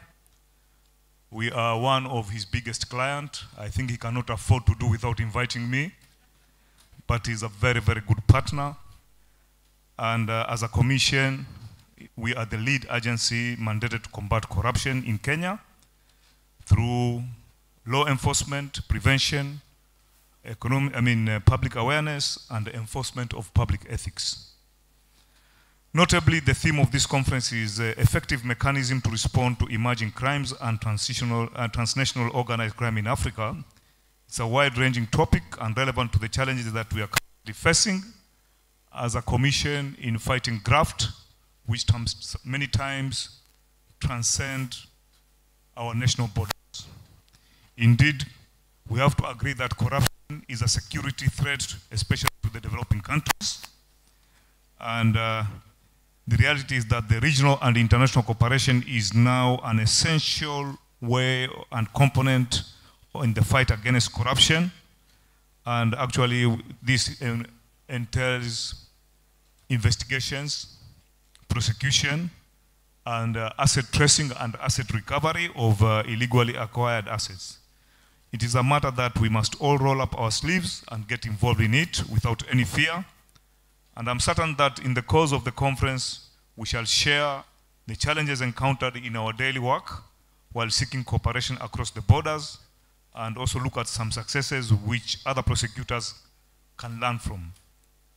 Here in Kenya, some of the mechanisms adopted to respond to emerging and transnational crime include the signing of bilateral agreement with other countries in order to facilitate the return of stolen and corruptly acquired assets hidden in other jurisdictions. Secondly, we are looking at strengthening regional and international cooperation through membership to organization, organizations such as the International Association of Prosecutors, for the ODPP and International Association of Anti-Corruption Authority, that is IACA for the EACC. The overall objective here is to build strategic linkage for information sharing and expeditions processing of the MLA. Then we look at the automation of uh, government services, such as immigration services, to reduce human interface and opportunity for corruption. If the migration can now have an integrated global system of tracing human movement, why can't we have the same on uh, other aspects so that we are able to contain corruption globally with at ease? The issue of uh, physical theft of public resources is now gone because we are having, everything is getting automated. 10 years ago or 15 years ago, we did not have a vocabulary called cryptocurrency. We did not, we did not have a, a word called Bitcoin. So more new terms are coming as a result of the automation of, of the world. Today, thieves, I remember when I was a young man, you would uh, sometimes read that uh, in New York City you have uh, people who have invaded a bank and get away with bundles and bundles of dollars. In today's world, the thief is not cutting grill or using a pistol. The thieves are in their comfort zone, taking tea and using maybe even a smartphone to commit, uh, to commit a very damaging sort of crime without anybody seeing it physically. So the initiative that we need should yield proper results both at local, regional, and global level. We have no doubt that uh, the outcome of this conference will enrich our regional determination to effectively respond to emerging crimes and move away from the traditional way of addressing crime in the world. As I conclude, I once again welcome you to Mombasa. This is my home city. I am from this area, and I wish you a very successful conference. And I trust that after the conference, maybe you'll plan again to come privately so that uh, you can enjoy the real aroma of this town. Because, you know, when you come to official visit, everything becomes extremely formal. You have to be in a suit, a tie, where, whereby the weather here is hot and humid. So we hope that next time you will come here well dressed for this occasion, informally as a tourist, because right now I know you are formally in, uh, at work. Shukran, thank you very much. Uh, Mokwambiri, and uh, merci beaucoup.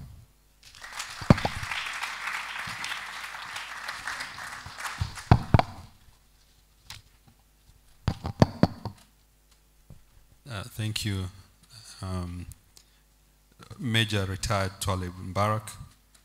Um, maybe you should have added with the bald head, make you cooler. um, I now want to invite um, uh, Mr. Kennedy Ogeto, who is the Solicitor General from the Office of the Attorney General of the Republic of Kenya. Um, I think the Attorney General uh, was indisposed and unwell, but uh, he will be representing him. Thank you.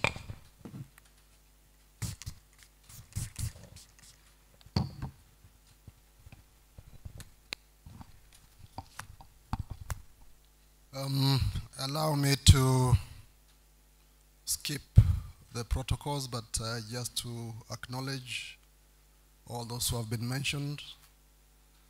I'm here to represent the Honorable the Attorney General of the Republic of Kenya, Mr. Kihara Kariuki, who, as my colleague has stated, is unwell and could not be able to be here.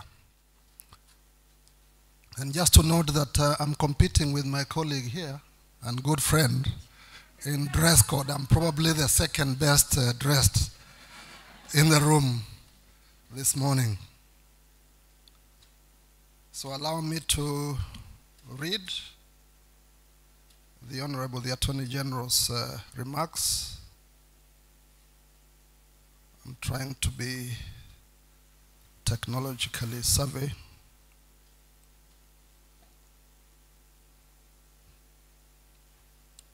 I am pleased to join you today and to deliver remarks on behalf of the Honorable the Attorney General of the Republic of Kenya. The theme of this conference is arguably one of the most critical contemporary issues in criminal justice and law enforcement. There have been tremendous changes in the way that we live as individuals and as societies and nations. Technology and globalization have played a significant role in this regard. However, these developments have also had their negative consequences. And one of these negative consequences has been that criminals have found new ways of committing and masking their crimes. Traditional forms of law enforcement have also encountered new challenges, some of which have made it difficult to bring criminals to account. This conference provides us with the opportunity to consider these dynamics and to ventilate on the mechanisms by which we can ensure that we remain steps ahead of the criminal mind. We therefore must adopt our systems, strategies, and tactics to these new realities if we are able, if we are to be able to effectively combat crime. Technology has increased the prevalence of electronic and internet-based crimes. It has made it possible for criminals to expand their reach far and wide, often beyond national and regional borders. An article in the Forbes magazine in March 2022 aptly describes computers and networking as follows, quote, the lawless continent on which criminals go wherever they want, going into factories, stores, and homes, stealing data in massive amounts to sell and used to enable more crime. End of quote. Such access and wide reach have not just made it possible for criminals to reach far and wide, they have facilitated the commission of secondary cover up crimes such as terrorism financing and terrorism itself. Cryptocurrency platforms, for instance, have made it easier for criminals to send and receive money almost instantly and anonymously. This is why we must adapt our law enforcement and criminal justice systems to make them effective and efficient. There are certainly lessons to be learned, not just from other agencies within the same country, but also from regional and international best practices. Indeed, many of these crimes are no longer just a domestic concern. They have morphed into regional and international menaces that must be faced with concerted regional and international effort. This conference, therefore, provides us with the platform to share knowledge on these matters. A crucial way of staying ahead of the criminal is ensuring that we have the appropriate laws that define the crimes and define jurisdiction over such crimes. In many jurisdictions, the challenge has been that the law has not always been developed as fast as some of the new crimes have emerged, allowing criminals a gap to exploit. We therefore need to have such laws. Given the supranational nature of some of the emerging crimes, we need to rethink the laws on jurisdiction in many of our countries. There is probably greater incentive than ever before to think beyond territoriality and more about cross border coordination in combating some of these crimes. We also need to strengthen our mutual legal assistance and cooperation frameworks. This will ensure that criminals do not hide within our boundaries and escape accountability for their crimes. It will ensure that justice is served in jurisdictions where it is best suited, for example, on account of the location of the victims and the evidence. All these proposals will not be of use if we do not build our human resource capacities. There is need to train our law enforcement agencies and our judges and prosecutors on these emerging crimes. The complexity of these crimes is often as a result of the novelty and highly technical nature of how they are committed. We therefore must ensure that our criminal justice system is equipped with the skills, knowledge, and expertise to combat these crimes. It is my sincere belief, ladies and gentlemen, that this conference will be productive and that we will leave this venue having shared and learned from each other's experiences. What we derive from this conference should provide us with the incentive to forge ahead with efficient law enforcement approaches that respond to the current and emerging challenges. Thank you very much, and I wish you very good deliberations.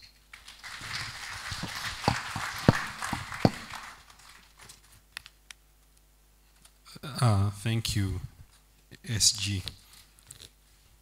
Um, our Morocco representative uh, finds uh, the word DPP very funny.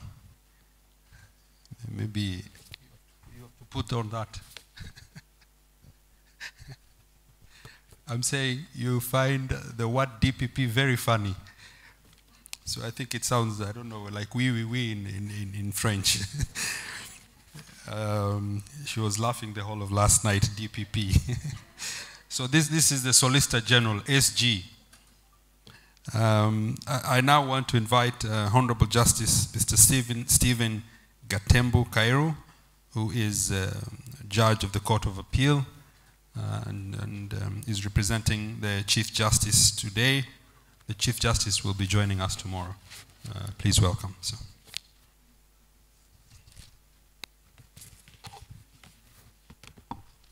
Uh, thank you. Thank you very much, uh, Director. Uh, our host, uh, Director of Public Prosecution, Mr. Noordin uh, Haji, uh, Cabinet Secretary, National Treasury and Planning, Mr. Yatani, Solicitor General, Mr. Ogeto, CEO, Ethics and Anti-Corruption Commission, Mr. Mbarak, Mr. Theuri, President Law Society, uh, let me otherwise adopt the protocols that uh, the director uh, gave at the onset.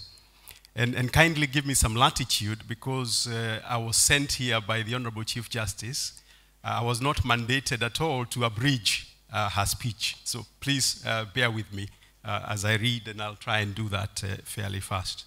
As the director has indicated, I represent the Honorable Lady Justice Martha Koome, uh, the Chief Justice of the Republic of Kenya, and the President uh, of the Supreme Court, who could not be here uh, with you today.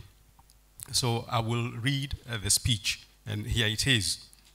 Let me start by thanking the Director of Public Prosecutions, Mr. Noordin Haji, for the honor of inviting me to participate in this conference. The institutions and actors in the Kenyan justice sector working under the auspices of the National Council on the Administration of Justice, have embraced principled cooperation and collaboration to ensure the efficiency of the criminal justice sector.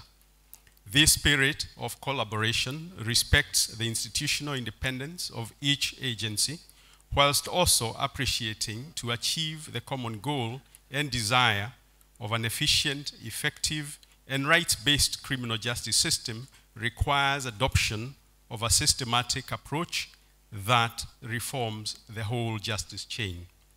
It is such a collaborative approach that fosters coordination and cooperation amongst investigative and prosecution agencies in our region and globally that can enable us deal effectively with the phenomena of emerging crimes and transnational organized crimes that are the focus of this conference.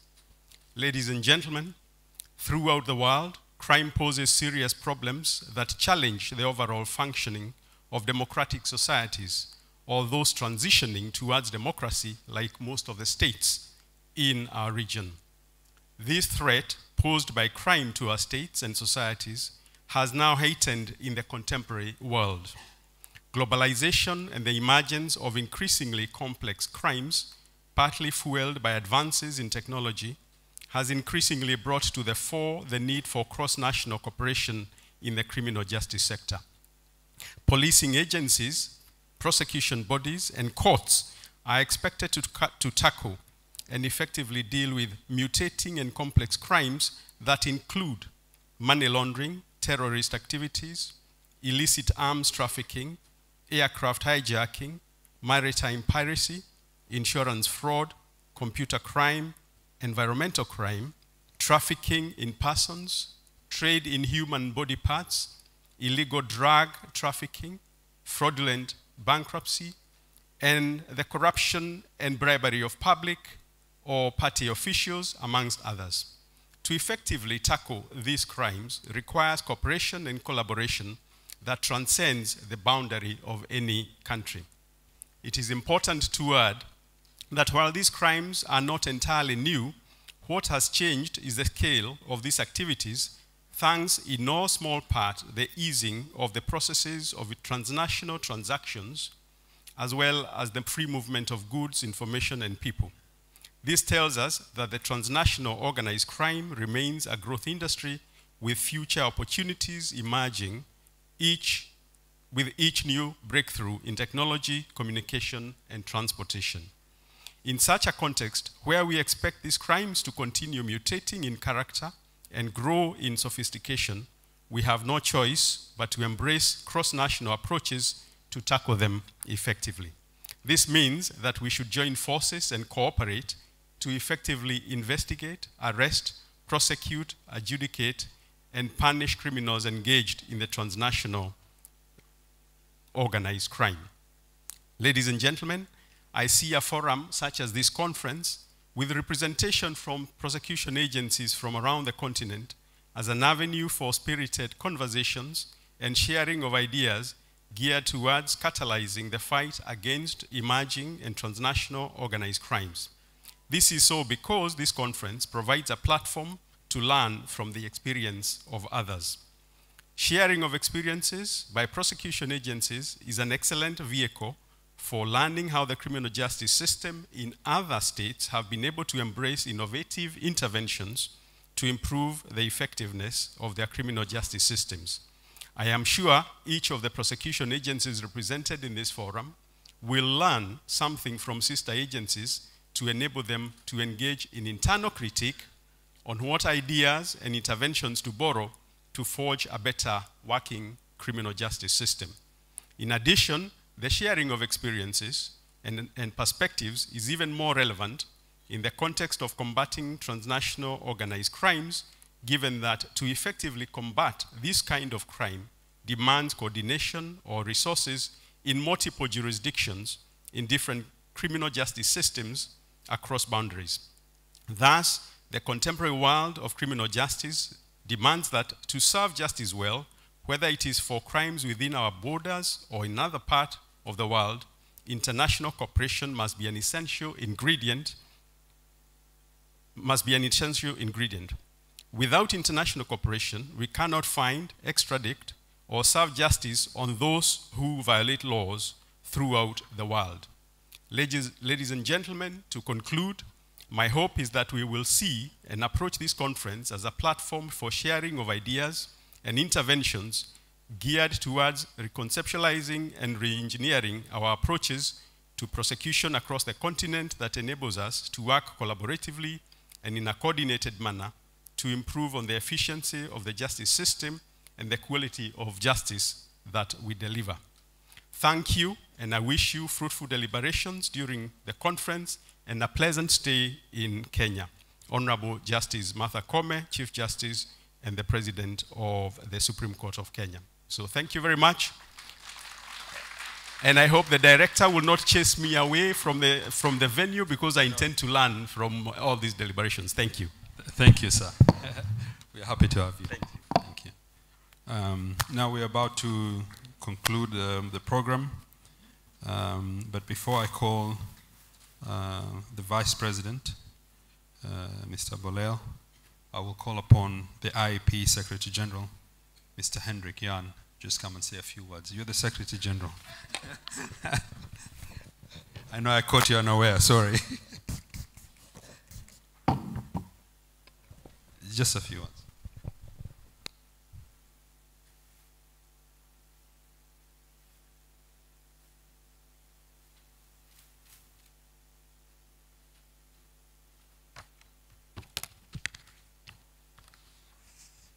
Nakusalamu. Sal, salimu. Salimu, I, I should say. Nakusalimu. Thank you so much, but that's the only word of Swahili I know. I apologize uh, for that because your language is very beautiful. So I have to do it in English, and the only thing I want to say is that on behalf of the International Association of Prosecutors, I am so happy that you are here and I am so proud that the DPP of Kenya and the Office of the Prosecutor General here in Kenya dare to organize with the International Association of Prosecutors this first event after two years of Corona. You might know that the International Association of Prosecutors is a network of uh, individual members, of organizational members, prosecution services, associations of prosecutors, all working together on sharing knowledge, sharing training. We are a network for prosecutors finding each other when they want to work on uh, mutual legal assistance. And the third pillar of the IAP is keeping up the standards of fair and independent uh, prosecutions. And the only way to do that properly is in meeting each other, in being a network. So the two years behind us uh, of Corona was really a hardship for the IAP.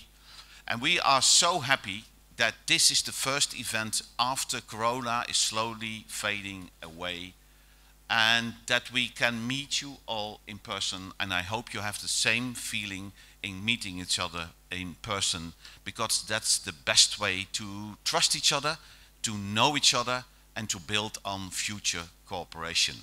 And I thank the host of this uh, uh, conference, Noordin Haji, and his team for organizing this, daring to do this with the International Association of Prosecutors. Thank you very much.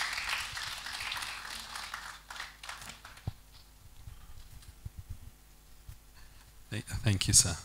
Um, I will now call upon Honorable Satyajit Boolell, Director of Public Prosecutions, Mauritius, and the IAP Vice President, Africa, Indian Ocean Region.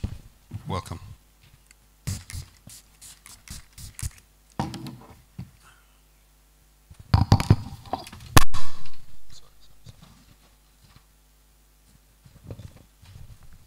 So, good morning. The Honorable Ukur Yatani, Cabinet Secretary, Your Lordship, Honorable Justice uh, Stephen Kairu, Judge of the Court of Appeal, the DPP of Kenya, Noordin Haji, uh, the President of the EAAP, Honorable uh, Sylvester Anthony, uh, and uh, uh, Honorable Twalib Mbarak from the head of the Anti-Corruption Agency, the Secretary General of the IAP, Mr. Han Moral, and uh, Head of Prosecution Agencies, all protocols observed. Uh, um, so a very good morning to all of you. Now, as the Secretary General just mentioned, it is a great relief that we can interact after two years of lockdown uh, face to face. And let me start by, first of all, thanking uh, my good friend Noordin for not only organizing this conference uh, with his dedicated team, but also for taking very prompt action. And I want to thank also the government of Kenya and the people of Kenya for this tremendous welcome. And uh, we are very touched by this uh, gesture in, in the region. Now, the, the law without proper enforcement is just good advice. This is what Abraham Lincoln once said. So it could not have been a better choice of theme to, for this conference to find, uh, to, to discuss on the question of uh, the uh, effective mechanism to respond to uh, organized crime and emerging crimes. We know that the goalpost is constantly moving. We also know that uh, there are emerging crimes which law enforcement agencies cannot uh, keep pace with organized crime. Uh, we also uh, we also know that what has happened in the late 80s is that a change of strategy, a paradigm shift, so that we can uh, hurt the, the perpetrator of, of crime where it hurts most, that is, the proceeds of the crime, his pocket. And we know that incarceration has not given us the kind of full uh, deterrent satisfaction that uh, we experience as uh, uh prosecution, prosecution agencies. So perhaps in order to, in order to decide on uh, in order to decide what is best effective response, what is the best effective mechanisms, I consider that we must identify where our weaknesses are. And I identify three weaknesses. One is the lack of transparency. The second one is the lack of cooperation. And all those who have spoken before me have clearly identified the need, the urgent need for cooperation. And third is the lack of resources, lack of funding, lack of specialists and expertise in the area where we have to uh, investigate and prosecute. So look, in, uh, I, I, perhaps will share the experience of uh, my own jurisdiction when we look at this lack of transparency. The, you will see that the, the real culprit, they hide behind intermediaries through a series of layers of screen, and they are difficult to reach. So, and I know the Financial Action Task Force is, is, is uh, strongly recommending that we must have a company register where not only we, we find the, the, who are the beneficial owners of, those, uh, of, of this money, uh, which is being in the process of being laundered. So there must be total transparency uh, in that area. And uh, we, we also know that uh, the, the recommendations now with countries coming with a list of a legal arsenal of laws is to have access to such information in a timely fashion. The second problem is lack of cooperation. We've just heard the uh, Secretary General Morales speaking about the IAP. The IAP is a worldwide organization of prosecutors. It's a, it's a platform that, that really creates a very dynamic, a crucial, a vital network for us prosecutors, not only to share familiar problems, to share expert knowledge, but also to be able to learn how to collaborate across jurisdictions, learn skills, techniques, specialist, uh, specialist knowledge, and it can only be of huge benefit. I would urge you, you must excuse me, I have had some medicine and my, I'm having a very dry throat here. So uh, you, you, I must urge you to go to the, to the, uh, to the, uh, uh, the the website of the IAP. Go to the website and see how much uh, you can learn from, even uh, in cybercrime.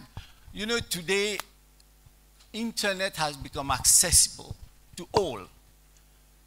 to all, everyone. In, in Africa, people are using their phone to make payments.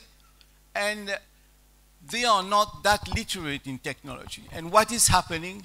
The massive scam massive scams that are coming up front to, to steal the money of these people. And they don't understand how or why they are losing, they, they, they're being victims of scams. And we also know that in many of these cases, enforcement is literally uh, nil. So information sharing, cooperation uh, are very important. And the third area of uh, difficulties uh, is the fact that of the lack of funding, lack of specialist knowledge, lack of uh, technical expertise, and the, the thing is, technology is moving so fast. We are now facing cryptocurrency as a mode to do anti-money laundering. And yet, with uh, borders that percolate throughout, uh, it is difficult to, to enforce the law, even though we have brought forward the, an arsenal of legislation. So I, the solution, I think, the advice in my experience is that we must learn to cooperate, cooperate, cooperate. In Africa, we have, and I hope the UNODC can be instrumental for that, in Africa to create a kind of Africa just. Europe has given a very good example of how joint prosecutors and investigators can work together. So we should be doing the same because it's a, it's a, it's a system that is proving its effectiveness. That's a cooperation we can all meet uh, regionally, globally, across Africa, and this has to be done. This is, I think, the first urgent thing. We can also work with, uh, uh, with an Africa uh, poll, with the police getting together, and I think those are things which we should be looking forward to discuss and deliberate in the two days that we'll have to share our experiences. So I'm going to stop here. Let me once again thank uh, Noordin for uh, organizing such a nice conference. Uh, perhaps next time we'll be sitting on the beach with our shorts and discussing very serious issues. But thank you very much for your attention.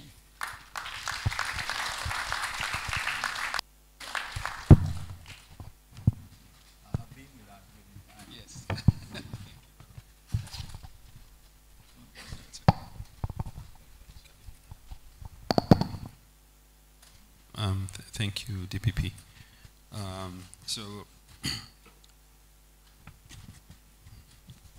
um, just before I call upon our guest, uh, ch- chief guest, and key, who will deliver the keynote address, uh, for his benefit, I just want to try and recognize uh, the different individuals and countries that are here today. Um, Honorable CS, we have uh, representatives from Burundi, and it is headed by the Deputy Prosecutor General, who is Mr. Nkiza Bahizi Franco. I hope I pronounced it rightly.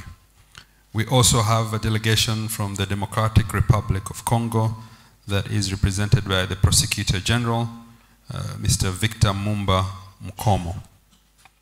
We, have, we also have in our presence uh, representatives from Mozambique, headed by Dr. Alberto Paulo, who is the Vice Attorney General. We also have representatives from our neighboring country, um, Tanzania, but Zanzibar, stroke Zanzibar, headed by Mrs. Salma Ali Hassan, who is the DPP and head of delegation, and a former classmate. Um, we have representatives from the IAP Executive Committee, headed by Mr. Hendrik Jan Moral, who is the Secretary General. We have representatives coming from the Seychelles, Mr. Frank Ali, uh, who is the Attorney General of Seychelles. We have representatives from Zambia, headed by uh, Humbiza Thelma Mumba, uh, who is the Chief State Advocate. Uh, of course, from Tanzania, we have Mr. Mwakitalu Sylvester Anthony, who is the DPP the head de- de- delegation of Tanzania. Uh, we have Honorable Chol Deng Adija, who is the DPP of South Sudan and head, head of delegation, delegation of South Sudan. We have a representative from Namibia, headed by the Chief Legal Officer, Ian Mwinga Malumani. We have uh, representatives from Rwanda, headed by my brother Amibel, who is a prosecutor general of, of Rwanda. I have my sister from Uganda, Honorable Abodo Jen Francine, who is the DPP of Uganda. Of course, we have Mr. Satyajit Boolell from Mauritius, who is the DPP of Mauritius. We have representatives from Ethiopia, headed by Mr. Yusuf Saidi, who is the Director International Cooperation um, at the Office of the Attorney General. Uh, we have uh, representatives from Egypt. Uh, we have Mr. George Saad Salib, who is the Deputy Prosecutor General. Uh, we have a representative from Guinea-Bissau, Martins Domingos, who is the President of the Union of Magistrates of the Public Ministry of Guinea-Bissau. We have uh, represent representatives from Ghana, headed by the Honorable Attorney General, who is about to arrive, Mr. Dem Godfred Yeboah, who is accompanied by uh, Madam Atakora Obuobisa, who is the DPP of Ghana. We have representatives from Zimbabwe, um, headed by Rose Takuva. We have um, representatives from Sudan, um, headed by His Excellency Khalif Ahmed Khalif Ahmed, who is the Attorney General of Sudan. We have a representative from Botswana, Mr. Wesson Gape Man- Manchiwe, I hope I pronounced it right, who is the Deputy Director of Public Prosecutions, Botswana. We have a representative from Somalia, Mohammed A. Mohammed, who is an advisor to the Attorney General of Somalia.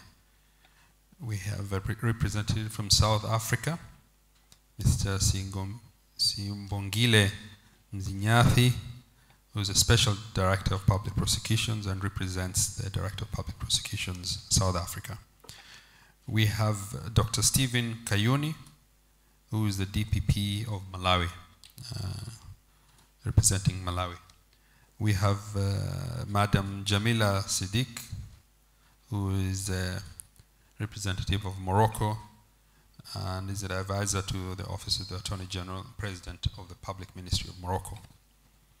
Uh, we have Mr. Abubakar Mohammed Babadoko, who is the Federal Director of Public Prosecutions, Nigeria. We also have a number of other guests from the United States of America. We have guests from Saudi Arabia. We have um, individual guests from R- Romania. Um, we have guests also um, from the US and the United Kingdom.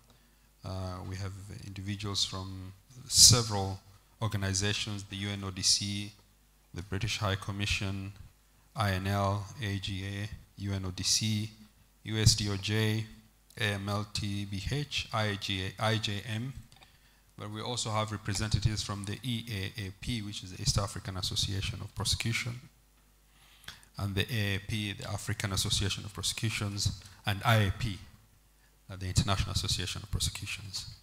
I now have the singular honor to invite Honorable Ukur Yatani, Cabinet Secretary, National Treasury and Planning, and also a very close family friend um, and mentor. Welcome, sir.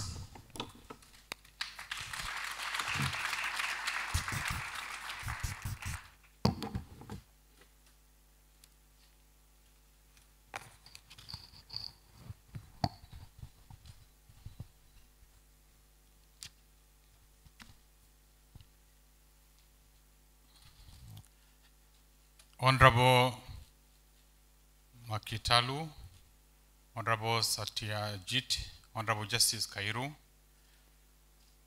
my friend Twalib Mbarak, the Solicitor General, Honorable Directors of Public Prosecution, distinguished development partners present here, regional and international delegates, Noordin, the Director of, PP, uh, uh, of Public Prosecution Kenya, Ladies and gentlemen, uh, good morning. I, I, want to believe we're still in the morning session.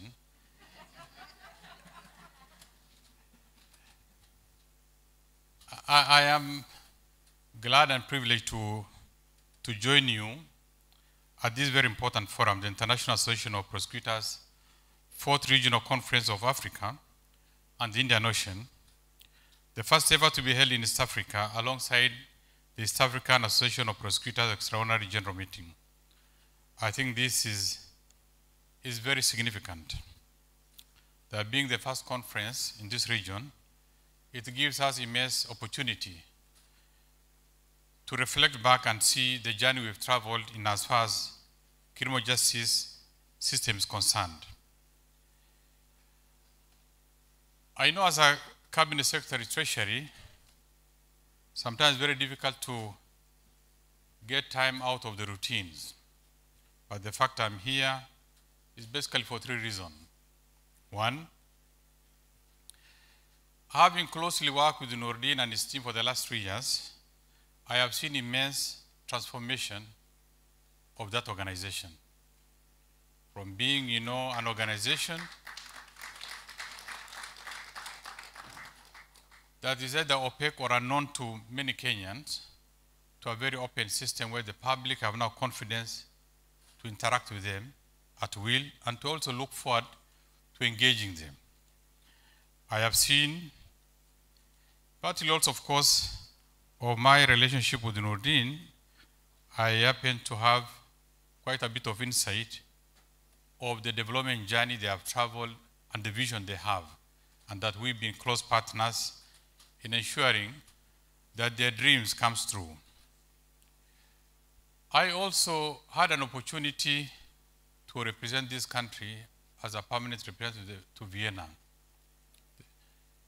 And I closely worked with UNODC. And therefore, some kind of reflection and remembrance of my time in Vienna 12 years ago. And that's why I said I won't miss this occasion. And I said I must be here to share and also uh, learn and hopefully also meet one or two persons that I have met in Vienna. But it doesn't appear to be the case, it appears.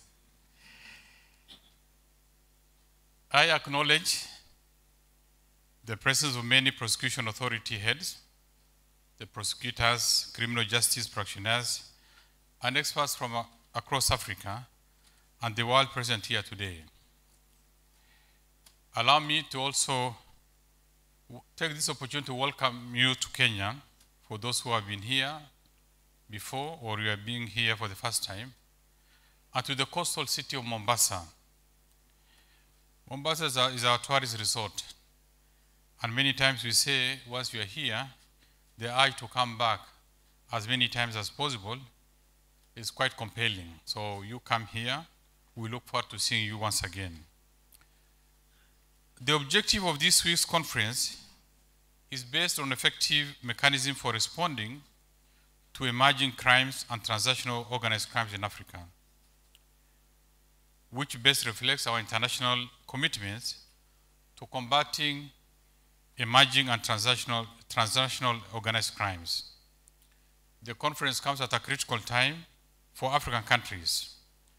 As the threat we face from emerging and trans- transnational organized crime is evolving, and that's why clearly we need to be ahead of the game.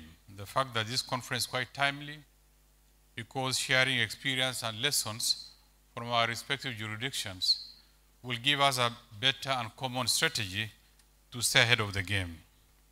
Indeed, some of our respective jurisdictions have experienced firsthand the negative impact that transnational organized crimes, such as terrorism and corruption, have on our economy, security, peace, and stability. I think most of us in the region have experienced or continue to experience to a great extent the adverse effect of terrorism, terrorism and corruption, which distorts resources and denies the public the opportunity to get better service delivery when the public is actually paying for it. This is a very important moment that we need to now share those lessons and see how best we can deal with them.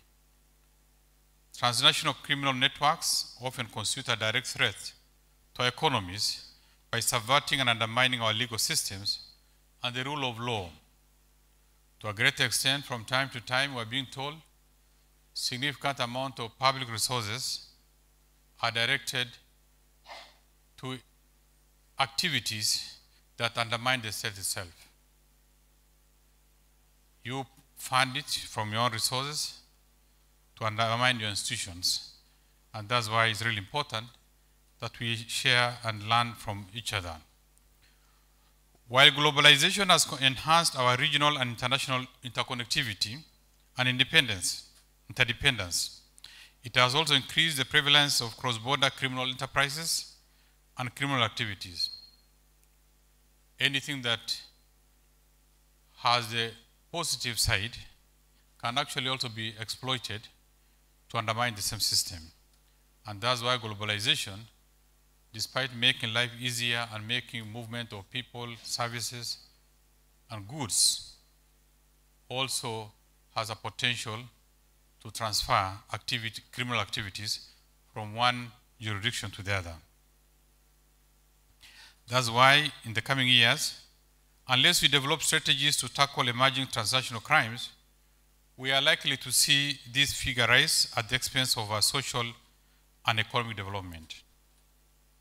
As a region, we need to adopt bilateral and multilateral agreements, and more so faster enough, with the common objective of investigating and prosecuting emerging transnational crimes so that collectively we are safer.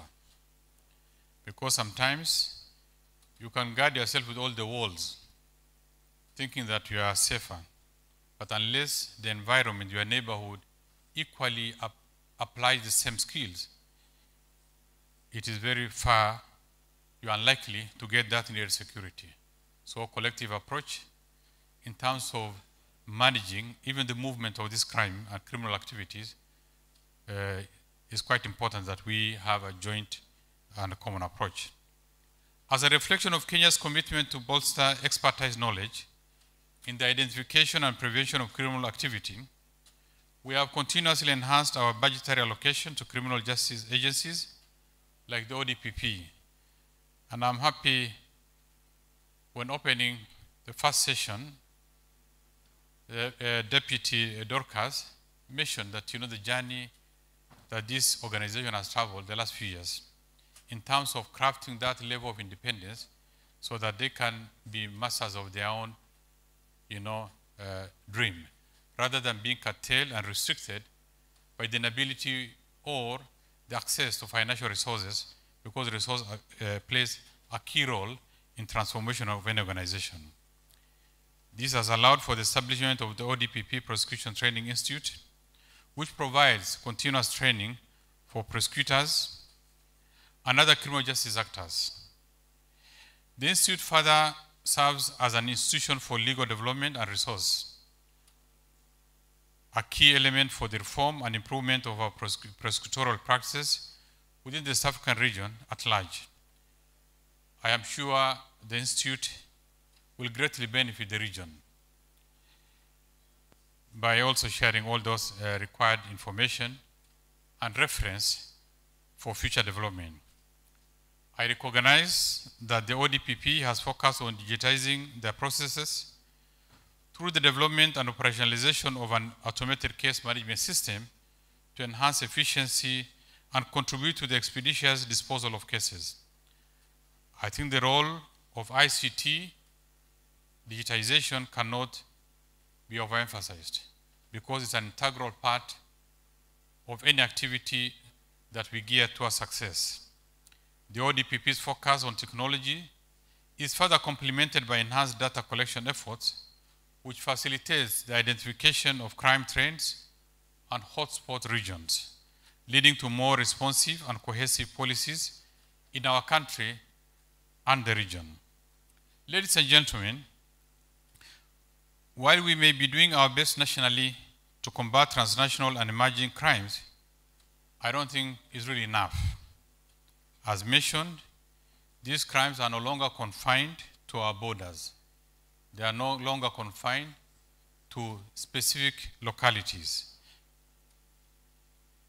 because our borders are highly porous and people are already ahead, always ahead of the government because that's why research remains very important. We must be ahead of this, uh, this uh, segment of the population. Within the South community, harmonization of laws surrounding illicit financial flows has so far culminated in the surrender of CS Gold to Tanzania.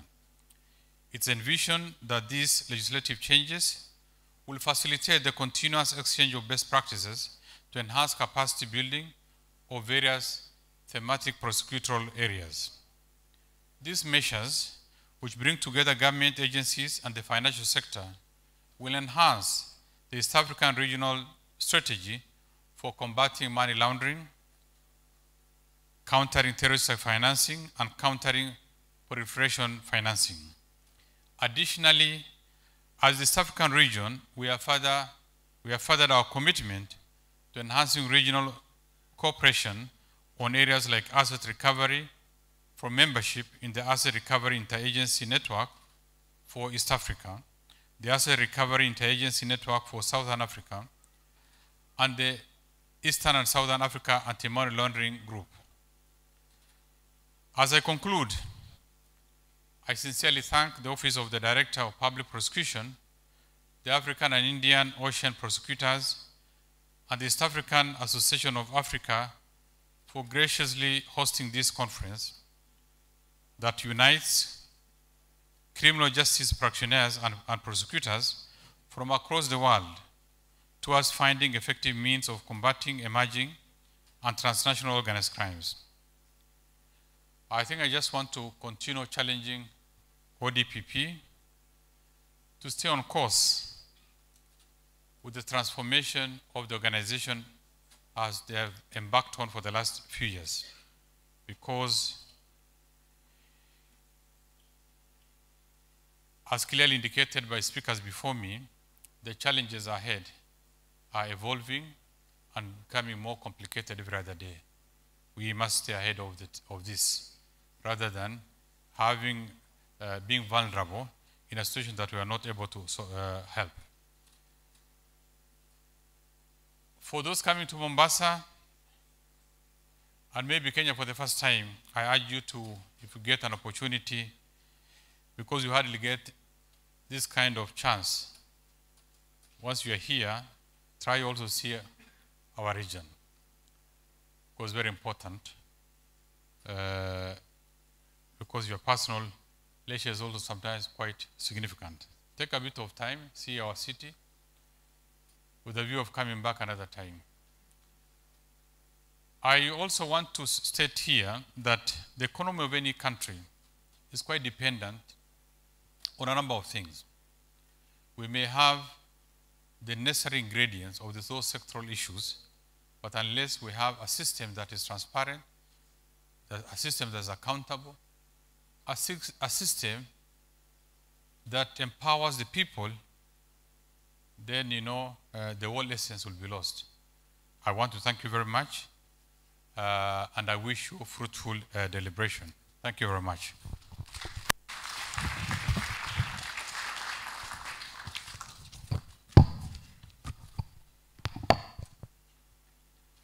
Thank you very much, Honorable CS. Um, I think this brings us to the end of this session. But before we go for a break, I have um, two small announcements. Um, first of all, uh, there are some countries that I didn't mention. We have representatives from Saudi Arabia. We have representative, a representative from Brazil, Pakistan, Romania, Serbia, and Sierra Leone. Uh, we also have within us, um, amongst us, sorry, Captain retired Saitoti, who is the Kenyan, who is the director of the Kenyan um, Financial Resource uh, Center. Um, the two announcements is that um, tomorrow, uh, His Excellency the President of the Republic of Kenya will be joining us around 10, I think, but we will give you the program. Um, secondly, uh, after this, uh, we will have a photo session um, somewhere outside uh, where there's a banner. Uh, and we will probably have 20 minutes uh, tea break and then come back for the next session. So thank you very much. Sorry for the delay. We started a bit late, but we'll catch up with the time. Thank you. And welcome again.